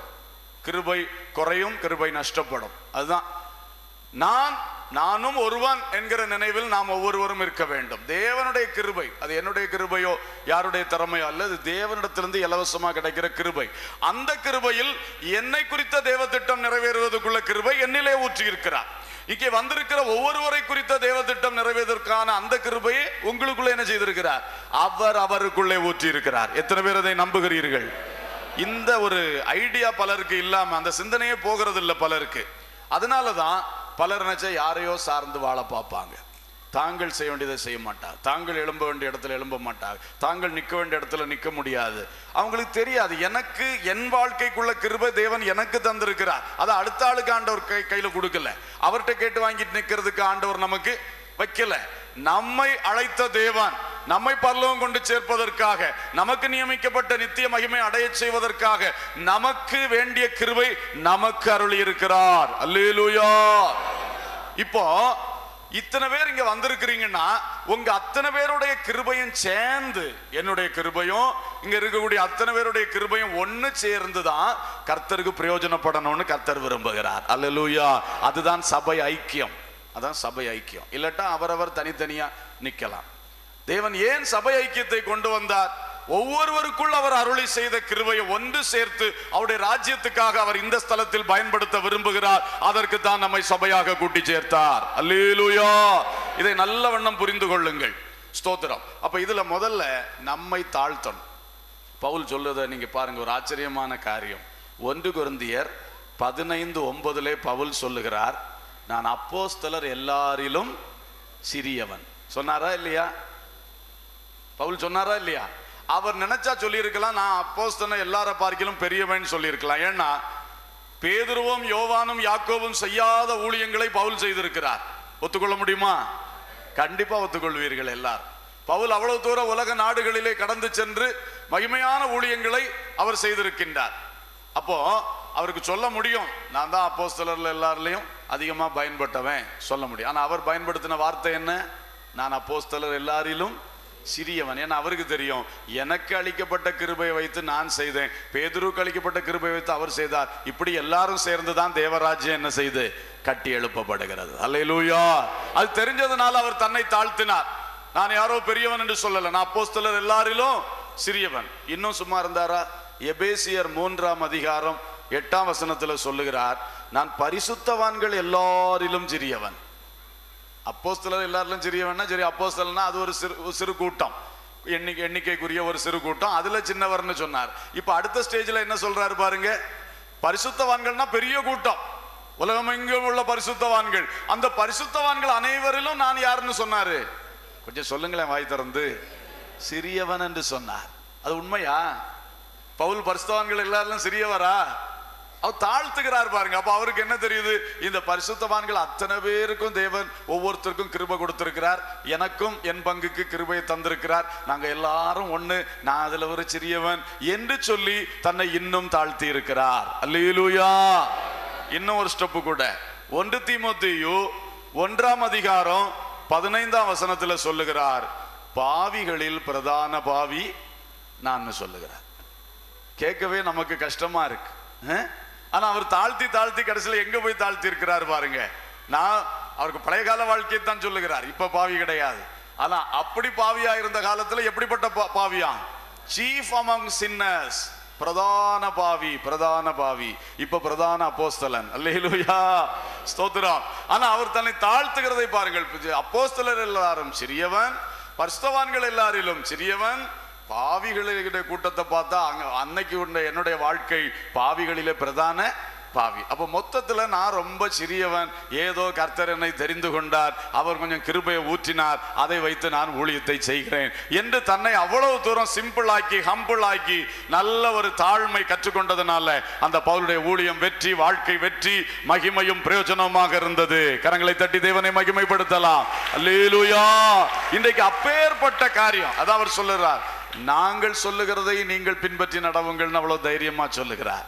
இந்த மாதிரி விஷயங்கள்ல நம்ம எவ்வளவு பின்பற்ற வேண்டியது இருக்கிறது. சிலருக்கெல்லாம் கொஞ்சம் கையில கொஞ்சம் கைப்பலம் வந்தா போதும். அப்புறம் அவங்கள ரொம்ப பெருமை வந்துடும் அவங்களுக்கு. கொஞ்சம் கைப்பலம் வந்தா போதும். பெருமையை பார்க்கணும். சிலர் பார்க்கணும் அவளுக்கே நிற்க முடியாது நாலு பேருடைய உதவி வேணும். ஆனா அதுல பெருமையை பார்த்தா இந்த பெருமையை வச்சு உங்களால த உங்களா கொண்டு நடக்கவாவது முடியுதா முதல்ல? கத்தருக்கு ஸ்தோத்திரம். பெருமையை விடவே மாட்டார்கள் பெருமையை விட மாட்டார்கள் ஆனால் அப்போ பவுல் ஒரு நல்ல உதாரணமா இருக்கிறார். எவ்வளவு கத்தர் பயன்படுத்துகிறாரோ உயர்த்துகிறாரோ நன்றாக வைக்கிறாரோ தாழ்மையின் மேல் தாழ்மைப்படுங்கள். அடுத்தது இதே விஷயத்துல இன்னொரு அறிவு வரணும். மற்றவர்களுக்குள்ள கிருபையை நம்ம அக்னாலஜ் பண்ண தெரியணும். நம்ம வந்து அதை ஒத்துக்கொள்ள தெரியணும். ஒத்துக்கொள்ள தெரியணும். மற்றவர்களும் சும்மா இருக்கிறவர்கள் அல்ல. ஒருத்தர் ஒரு ஒருவேளை ஒன்றுமே படிக்க தெரியாது இவருக்கு. ஓ, எழும்பி நின்று ஒரு வார்த்தை இவருக்கு பேச தெரியாது. ஒன்றும் தெரியாது உண்மைதான். ஆனால் அவர் செய்கிற தேவராஜ்யத்துக்கு அவர் செய்கிற ஒரு வேலையை இந்த விவரம் உள்ள முன்னணிக்கிற ஒரு ஆளுக்கு செய்ய முடியாது. ஆமே கண்டிப்பாக கண்டிப்பாக. எல்லாரும் எல்லாம் செய்துவிட முடியாது. க- அவர்கள் செய்கிற வேலையை இன்னொருத்தர் செய்ய முடியாது. இன்னொருத்தர் செய்யறதுக்கு வேலையை இன்னொருத்தர் செய்ய முடியாது. அதனால யாரோ ஒருவர் யாரோ ஒரு சிலர் அவர்களால தான் தேவராஜ்யம் கட்டப்படும் நினைக்க கூடாது. அத்தனை பேர் அத்தனை பேர். இந்த பாயிண்ட் இங்கே வலியுறுத்துகிறேன். ஒன்று குருந்தியர் பனிரெண்டாம் அதிகாரம் பனிரெண்டுல இருந்து இருபத்தி ஏழு வரைக்கும் சொல்லப்பட்டிருக்கு. ஒரு சரீரம் ஆனால் அவயவங்கள் அநேகம். சிம்பிளா சொல்லிடுறேன் டைம் போயிடுச்சு. சரீரம் ஒன்று அவயவங்கள் அநேகம். இதுதான் சபையின் அமைப்பு. சபையாகிய சரீரம் ஒன்றுதான். ஒன் யூனிட் ஒன் அமைப்பு. ஆனால் அதற்குள் இருக்கிற அவயவங்கள் அநேகம். இங்கே இருக்கிற நீங்கள் அத்தனை பேரும் இந்த இடத்திலே தேவன் கட்டி எழுப்புகிற கர்த்தருடைய சபையாகிய சரீரத்தின் அவயவங்கள். எத்தனை பேருக்கு அதை ஒத்துக்கொள்ள முடியும்? ஆமென். இந்த வெளிப்பாடு நமக்கு இருக்க வேண்டும். நான் வந்து ஏதோ அப்படி போயிட்டுருக்கேன் இருக்கேன் சபைக்கு போகிறேன் போனோம் வரணும். இப்படி இருக்கிறதுக்காக கர்த்தர் ஒருவரையும் அழைக்கவில்லை. ஆமேன். அந்த ஒன்று குருந்தியர் பன்னிரெண்டை நீங்கள் படித்து பார்க்கணும். ஒரு அவயவமாவது நம்ம சரீரத்தில் சும்மா இருக்குதா? சும்மா இருந்துன்னா அது குழப்பத்தை உண்டாக்கும்னு அர்த்தம். அப்படிதானே சரீரத்தில் ஏதாவது ஒரு அவயம் சும்மா இருந்துச்சுன்னா அதனால ப்ராப்ளம் வரும்னு தான் அர்த்தம். அப்போ நம்மளும் இப்படிதான் யாராவது நான் வந்து இந்த சபையில் ஒன்றும் கிடையாது. நம்ம போகணும் வரணும் அப்படின்னு நினைச்சோம்னா நம்ம மூலம் ஆமா நம்ம சும்மா இருக்கிறதுக்காக அழைக்கப்படலை. ஏதோ ஒரு அவயவம் செய்ய வேண்டிய வேலையை நம்ம செய்யணும். சிலரை கையை போல கத்தர் வச்சிருப்பார். அவள் பல கிரியைகளை செய்வார்கள். இல்லையா? சிலரை காலை போல கத்தர் வச்சிருப்பார். அவள் சபையை தாங்கி நிற்க மாதிரி ஸ்ட்ராங்காக நிற்பார்கள். பல காரியங்களை அவர்கள் அது விஷயமா செய்வார்கள். சிலர் ஆண்டவர் கண்களை போல வைத்திருப்பார். பார்ப்பார்கள் சாத்தா எங்கேருந்து வாரான்? சபைக்கு விரோதமா? அஹ்? எங்க பிரச்சனை வருதுன்னு சொல்லி தரிசனங்கள் கண்டு சொப்பனங்கள் கண்டு ஜபத்திலே விழிப்படைந்து அதை தெரிவிப்பார்கள். கண்கள் இல்லைன்னா குருடை மாதிரி நடக்க முடியுமா? சபை. அப்போ அந்த மாதிரி வெளிப்பாடுகள். அதுக்கு ஆண்டவர் சிலரை வச்சிருப்பார் கண்களை போல். சில காதுகளை போல வச்சிருப்பார். தேவ சத்தம் கேட்பார்கள். சபை குறித்த தேவனுடைய காரியங்களை கேட்பார்கள். அப்போ பாருங்க இது மாதிரி ஒவ்வொருத்தருக்கும் ஒவ்வொரு வேலை இருக்கு. எல்லாருக்கும். சிலர் மறைந்திருப்பார்கள். இருதயத்தை வெளியே பார்க்க முடியாது. ஆனால் இருதயம் இல்லாட்டா மொத்தம் முடிஞ்சு போச்சு. லங்ஸ் இல்லாட்டா மொத்தம் முடிஞ்சு போச்சு. கிட்னி எல்லாம் அப்படிதான். உள்ள உள்ள மறைத்து வைத்திருக்கிறது தான் அதிக முக்கியத்துவம் வாய்ந்ததாக இருக்கிறது. கத்தருக்கு ஸ்தோத்திரம். கையில்லாம ஒரு மனுஷன் வாழ்வான். கால் இல்லாம கூட வாழ்வான். ஆனா உள்ளே மறைத்து வைத்திருக்கிற இருதயமோ நுரையீரலோ இல்லாம ஒரு மனுஷனால வாழ முடியுமா? இதே மாதிரி தான் வெளியே பப்ளிக்கா நிற்போம் பப்ளிக்கா நிற்போம் நம்ம போனா இன்னொரு ஆள் வருவார் நடத்துவார். அதெல்லாம் நடக்கும். ஆனா இந்த ஹார்ட் மாதிரி கொஞ்சம் பேர் இருப்பாங்க உள்ளால. ஜபத்திலே வெளியே தெரியாது. இவங்க ஜெபிக்கிறாங்கன்னு பப்ளிசிட்டி கூட இருக்காது. அவங்க இருதயத்தை போல இருந்து துடித்து கொண்டே இருப்பார்கள். இரவு பன்னெண்டு மணிக்கும் அவர்கள் துடித்து கொண்டே இருப்பார்கள். அப்படிப்பட்ட அந்த இருதயங்கள் இருக்கிறதே. அது போச்சுன்னா சபை நிக்காது. அல்லையிலூயா இதை நாம் புரிந்து கொள்ளணும். அப்போ நடத்துகிறவர்கள் முன்னிருக்கிற கையும் காலுமாக செயல்படுகிறவர்கள் சிந்திக்கணும். கையும் காலும் அசைகிறது என்றால் பின்னாலே எங்கேயோ ஒரு இருதயம் என்ன செய்து கொண்டிருக்கிறது? வேலை செய்து கொண்டிருக்கிறது. அல்லையிலூயா அப்போ நம்ம வந்து நான் தான் நின்னேன் நான் தான் வந்தேன் அவன் வரல இவன் போனான்னு சொல்லி கால கையா அசைக்கிறதுனால அவசியம் இல்லை. கத்தருக்கு ஸ்தோத்திரம். நாம என்ன செய்யணும்? நாம காலு கையை போல வச்சிருக்கனால நம்ம அசைகிறோம் செயல்படுகிறோம். ஆனா இதெல்லாம் செய்ய கர்த்தர் அனுகிரகம் செய்யறாருன்னு சொன்னா யாரோ சிலர் வேதனை நடுவிலும் கஷ்டத்தின் நடுவிலும் அவளுடைய பிரச்சனை நடுவிலும் உட்கார்ந்து ராத்திரி பகலா இருந்து ஸ்தோத்திரம் பண்ணி சபை ஆசீர்வதியும் அப்பா என்று சொல்லி ஜெபிக்கிறார்களே. அவர்களை யாருக்கும் தெரியாது. ஆனா பரலோக ஞாபக புஸ்தகத்திலே அவர்களுடைய அக்கௌண்ட் அங்கே பெருகி கொண்டே இருக்கிறது. ஹலலூயா இப்படிப்பட்ட எல்லாம் ஆண்டவர் வைத்திருக்கிறார். எனவே இங்கே வரக்கூடிய ஒரு ஆத்துமா கூட சும்மா என்று நினைத்திடக்கூடாது. அதனால தான் நான் சொல்லுகிறது எல்லாரோட பேசுங்க எல்லாரையும் மதியுங்க எல்லாரையும் கனம் பண்ணுங்க எல்லாருக்கும் கை குலுக்குங்க. திரும்ப திரும்ப சொல்லி வருகிற விஷயம் இதுதான். இது கர்த்தருடைய சபை. நமக்கு யாருக்கும் சொந்தமானது கிடையாது. கர்த்தர் ஒவ்வொரு திட்டத்தோடு தான் ஒவ்வொரு ஆளை இதுக்குள்ள கொண்டு வருகிறார். திட்டம் இல்லாமல் கொண்டு வருகிறது இல்லை. சில பக்கத்திலிருந்து வர்றீங்க சில தூரத்திலிருந்து வர்றீங்க. ஒவ்வொருவர் ஒவ்வொரு சூழ்நிலையில வர்றீங்க. ஆனா உங்களை கர்த்தர் கொண்டு வருகிறார். ஆமேன். கர்த்தர் கொண்டு வந்தால் நிச்சயம் உங்க வாழ்க்கையை குறித்து ஒரு நோக்கம் உண்டு. உங்கள் மூலம் இந்த சபை தேவனுடைய ஊழியம் என்பதை குறித்தும் தேவனுக்கு ஒரு நோக்கம் உண்டு. இதை தயவாய் புரிந்து கொள்ளுங்கள். கர்த்தருக்கு ஸ்தோத்திரம். புரிந்து கொண்டு நாம் எல்லாரும் தேவனுடைய அந்த கிருபையிலே பங்காளிகள் என்பதை புரிந்து கொள்ளுங்கள். இந்த சபையிலே விளங்குகிற தேவ கிருபை இந்த ஊழியத்திலே விளங்குகிற தேவ கிருபையை ஒருவர் தலையிலே வைக்கவில்லை. எல்லாரிடத்திலும் பகிர்ந்து தந்திருக்கிறார். அல்லேலூயா. அதே நேரம் கை செய்கிற வேலை வித்தியாசமா இருக்கும் கண்ணு செய்கிற வேலை வித்தியாசம் காலு செய்கிற வேலை வித்தியாசம் வாய் செய்கிற வேலை வித்தியாசம். எல்லாரும் ஒரே வேலையை செய்ய முடியாது. அப்படி ஒன்றா இருக்கணும்னு நினைக்க முடியாது இல்லையா? எல்லாரும் ஒன்னதான் செய்யணும்னு நினைக்க முடியாது. அவரவர் ஆண்டவர் கொடுத்த கிருபைகள் தாளந்துகள் வரங்கள் வைத்து செய்வார்கள். ஒருத்தரை ஒருத்தர் மதிக்க வேண்டும் ஒருத்தரை ஒருத்தர் கனம் பண்ண வேண்டும். நமக்கு தேவன் தந்ததில் திருப்தி அடையவும் வேண்டும். நம்மளுக்கு ஆண்டவர் சில கிருபைகளை தந்திருக்கும் பொழுது இதை உள்ள வச்சுட்டு அந்த புதைத்து வைத்தவனை மாதிரி புதைச்சு வச்சுட்டு அவனுக்கு அஞ்சு கொடுத்துருந்தில்ல எனக்கு ஏன் அஞ்சு தரல? ஒன்று தானே தந்தாரு. இப்படி ஒரு முறுமுறுப்புல அவன் கொண்டு என்ன பண்ணிட்டான்?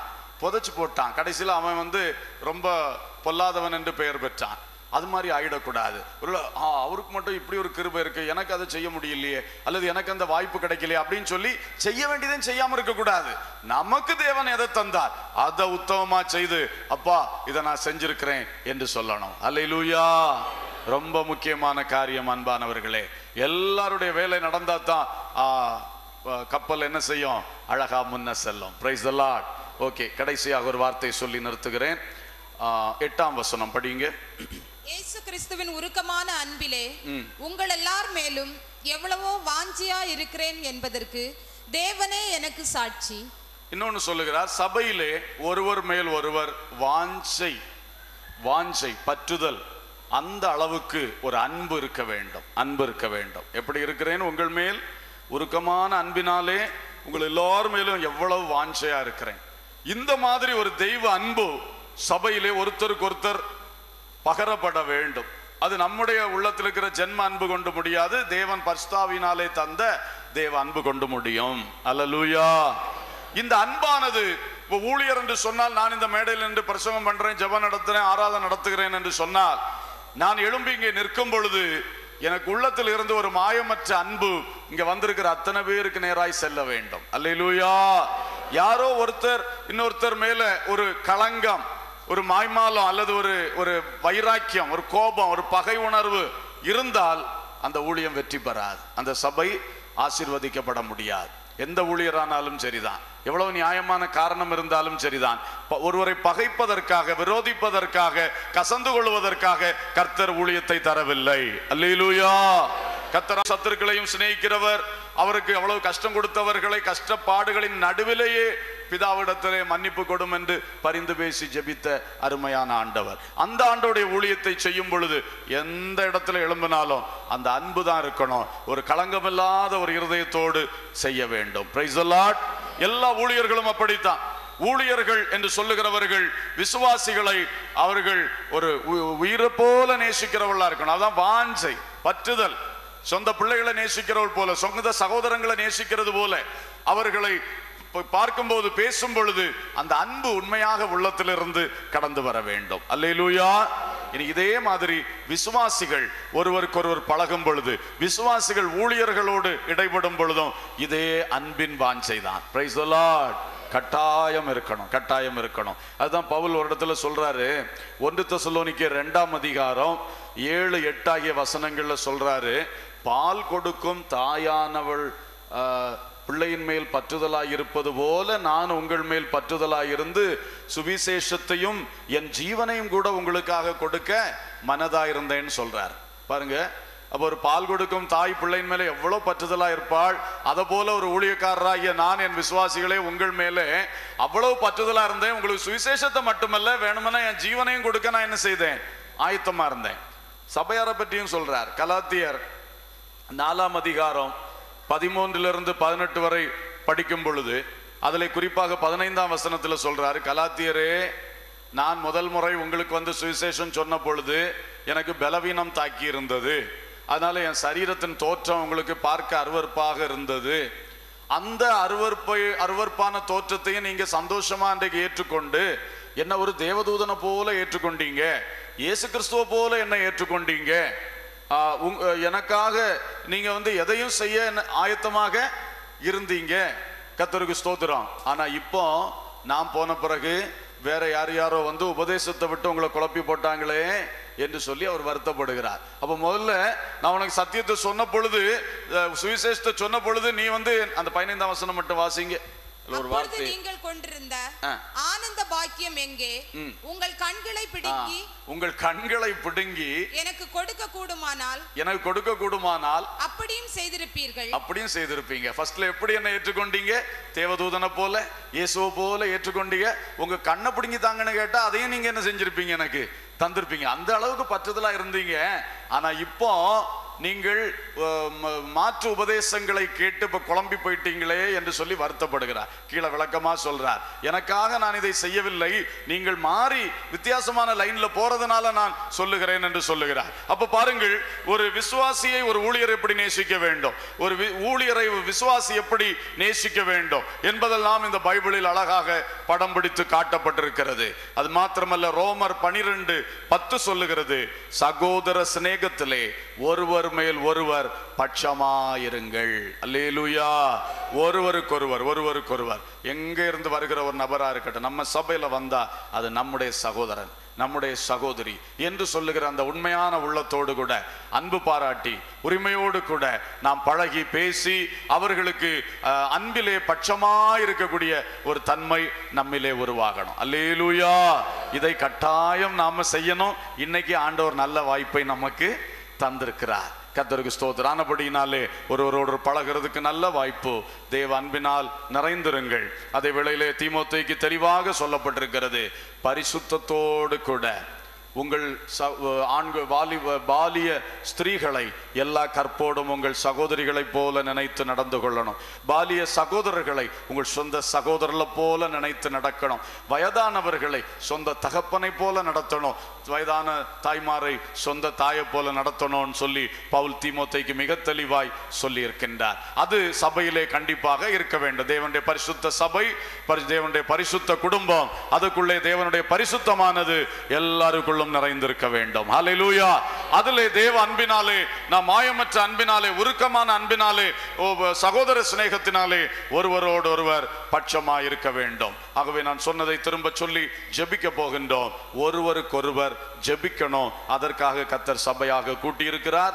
ரெண்டாவது ஒவ்வொருவருக்கும் தேவன் அவருக்குள் அவர்களுக்குள் தொடங்கின வேலையை முற்றுமுடிய செய்து முடிப்பார் என்று ஒவ்வொருவரை பற்றி நாம் தேவனை நம்ப வேண்டும். மூன்றாவது நாம் எல்லாருமாக சேர்ந்து தேவனுக்கு ஊழியம் செய்ய வேண்டும். நான்காவது நாம் எல்லாருமாக சேர்ந்து தேவனுடைய கிருபையிலே பங்கடைந்திருக்கிறோம். அதனால எல்லாம் பகிர்ந்து கொண்டு அவரவர் செய்ய வேண்டியது அவரவர் செய்து எல்லாரும் சேர்ந்து தேவனுடைய நாமத்தை மகிமைப்படுத்தணும். கடைசியாக பார்த்தோம் எல்லாரும் இதயபூர்வமான ஒரு அன்பு பற்றுதல் உணர்வோடு ஒருவர் பேரில் ஒருவர் ஒரு வாஞ்சை உள்ளவர்களாய் அன்புள்ளவர்களாய் காணப்பட வேண்டும். இதற்காக கத்தர் சபையாக நம்மை கூட்டியிருக்கின்றார். இந்த சபை ஐக்கியம் பலனடையும் பொழுது சாத்தானுடைய கோ- கோட்டை சுக்குநூறாக தகர்க்கப்பட்டு போகும். ஹalleluya தேவராஜ்யம் மகிமையாய் கட்டி எழுப்பப்படும். உங்கள் வாழ்க்கைகளும் பிரகாசம் உள்ளதாய் எழும்பி உங்களுக்காய் வைத்திருக்கிற நித்திய மகிமையை மேன்மையாய் சுதந்தரிக்க முடியும். இப்பொழுது எல்லாரும் கண்களை மூடி ஜெபம் பண்ணுவோம். ஒரு ஐந்து நிமிடங்கள் ஜெபத்திலே செலவு பண்ணும் பொழுது எல்லாரும் இந்த காரியங்களை தேவ சமூகத்திலே கேட்டு ஜெபிக்கலாம். ஹalleluya ஆமென். ஹalleluya கர்த்தரை ஸ்தோத்திரம் பண்ணுங்க. Yes Lord praise the Lord praise the Lord எத்தனை பேர் பேர் சொல்லி ஸ்தோத்திரம் பண்ணுனீங்க? சும்மா மேலோட்டமா ஸ்தோத்திரம் பண்ண நான் சொல்லல. ஒரு நாலஞ்சு பேருடைய பேரை சொல்லி அப்படியே தேவ சமூகத்துல ஸ்தோத்திரம் பண்ணுங்க. ஹalleluya எஸ் லார்ட் எஸ் லார்ட் இப்பொழுது ஒருவருக்காக ஒருவர் ஜெபிக்க போகிறோம். கொஞ்ச நேரம் தேவ சமூகத்திலே உங்களுடைய இருதயத்திலே தேவன் தருகிற வார்த்தைகளை சொல்லி நல்ல சத்தமாக தேவ சமூகத்தில் ஊக்கமாக ஜெபிக்க போகிறோம். எல்லாரும் ஜெபிக்க தொடங்குவோம். எங்கள் அன்புள்ள பிதாவே சர்வ வல்லமை உள்ள தகப்பனே இந்த வேளையில் விசுவாச மக்களுக்காக ஜெபிக்கிறோம் ஆண்டவரே. ஒவ்வொருவருடைய வாழ்விலும் தேவனுடைய ஆவியின் அபிஷேகம் ரெட்டிப்பாய் வல்லமையாய் இறங்கும்படியாக ஜெபிக்கிறோம் அப்பா. அவர்களிலே ஆமை ஆமை நீர் உம்முடைய பரிசுத்தாவி ஏன் அனுப்பினீரோ? அந்த கிரியைகள் பலமாய் நடக்கும்படியாக ஜபிக்கிறோம் ஆண்டவரே சோர்ந்து கிடக்கிற உள்ளங்கள் இந்த வேளையிலே உயிர்ப்பிக்கப்படும்படியாக ஜபிக்கிறோம் தேவனுடைய ஆவியின் உற்சாகத்தை அவர்கள் பெற்றுக்கொள்ளும்படியாக ஜபிக்கிறோம் தகப்பனே. யாருடைய ஆண்டவரை வெளிச்சம் மங்கி மங்கி எரிந்து கொண்டிருக்கிறதோ அவர்களுக்காக இப்பொழுது வேண்டிக் கொள்ளுகிறோம். இந்த நேரத்திலே கர்த்தரா இயேசு கிறிஸ்துவின் நாமத்தினாலே ஆமீன் அவர்கள் உயிர்ப்பிக்கப்படுவார்களாக பிரகாசம் அடைவார்களாக. அப்பா யார் யார் ஆவிக்குரிய ஜீவியம் செய்கின்ற செய்தபடியினாலே பல உபத்திரவங்கள் பிரச்சனைகள் நிந்தைகள் அவமானங்களுக்குள் இருக்கிறார்களோ அவர்கள் ஒவ்வொருவருக்காக இப்பொழுது செபிக்கின்றோம் அவர்களை இப்பொழுது தொடுவீராக. உமது கரம் அவர்களோடு கூட இருப்பதாக தானியலோடு இருந்த கர்த்த யோசேப்போடு இருந்த கர்த்த உபத்திரவத்தின் குகையிலே அவர்களை சுத்த பொன்னாய் மாற்றி வெற்றியோடு வெளியே கொண்டு வருவீராக அப்பா. மேலே கொண்டு வருவீராக அப்பா. தேவன் அவர்களை ஆசீர்வதிக்கும்படியாக ஜபிக்கின்றோம். கர்த்தாவை ஜபிக்க முடியாமல் அவை ஜபிக்கிற பழக்கம் இல்லாமல் இருக்கிற ஒவ்வொரு தேவ மக்களும் மக்களுக்காக ஜெபிக்கின்றோம். இந்த நாளில் அவர்களுக்கு ஜெபிக்கிற கிருபைகளை ஊற்றி கொடும் என்று ஜெபிக்கிறோம். உடைய வேதத்தை தியானிக்கிற கிருபைகளை ஊற்றி கொடும் என்று ஜெபிக்கிறோம். இன்று நாங்கள் கேட்ட தேவ செய்தியின்படியாகவே அப்பா நாங்கள் எல்லாரும் தேவ கிருபையில் பங்காளிகள் என்பதை புரிந்து கொண்டு மனத்தாழ்மையுடன் வாழ எங்களுக்கு கிருபை தருவீராக. ஒவ்வொருவருக்கும் மனத்தாழ்மையை தாரும் அப்பா. ஒவ்வொருவரும் மற்றவர்கள் மேல் தேவன் வைத்த கிருபையை மதிக்கத்தக்கதாய் கனம் பண்ணத்தக்கதாய் புரிந்து கொண்டு நடக்கத்தக்கதாய். தேவன் எங்களுக்கு கிருபை ஊற்றும் ஆண்டவரே. கிருபை ஊற்றும் ஆண்டவரே. நாங்கள் எல்லாரும் ஒவ்வொருவரும் உமக்கு அவயவங்களாக இருக்கின்றோம். நாங்கள் ஒவ்வொருவரும் செய்ய வேண்டிய பணியை உமக்காக செய்வதற்காக ஒவ்வொருவருடைய உள்ளத்திலும் கிருபை ஊற்றும் என்று செபிக்கிறோம் தகப்பனே. தேவனுடைய வல்லமையான கரம் ஒவ்வொருவர் மேலும் வெளிப்படுவதாக. ஒருவருக்காக ஒருவர் ஜெபிக்கிற கிருபைகளை எல்லார் மேலும் ஊற்றித்தாரும் அப்பா. ஊற்றித்தாரும் அப்பா. எல்லாரும் மற்றவர்களுக்காய் ஜெபிக்கிறவர்களாக நீர் மாற்றும்படியாக ஜெபிக்கின்றோம் ஆண்டவரே. மற்றவர்களை பற்றி தேவ நம்பிக்கையுடையவர்களா எங்களை மாற்றும் ஆண்டவரே. எத்தனை பேர் ஜெபித்தீர்கள்?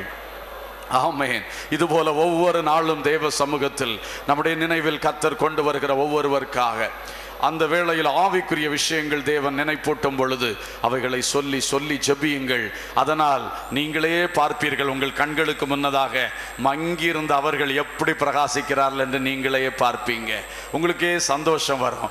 இந்த சகோதரனுக்காக இந்த சகோதரிக்காக அவருக்கே தெரியாம யாருக்கும் தெரியாம நான் தொடர்ந்து ஜெபித்து வந்தேன்.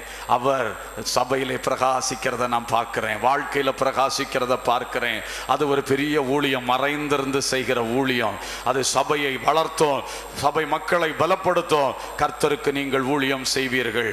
உங்களையும் அவர் நிறைவான பல பலனினால் நிரப்புவார். ஹலலூயா பிரைஸ் த லார்ட் எல்லாரும் கரங்களை தட்டி தேவனை மகிமைப்படுத்தலாம். பிரைஸ் காட் பிரைஸ் காட் நமக்கு தந்த சபைக்காக எல்லாரும் வாய் திறந்து ஸ்தோத்திரம் பண்ணுவோம். இந்த நல்ல ஐக்கியத்துக்காக எல்லாரும் ஸ்தோத்திரம் பண்ணுவோம்.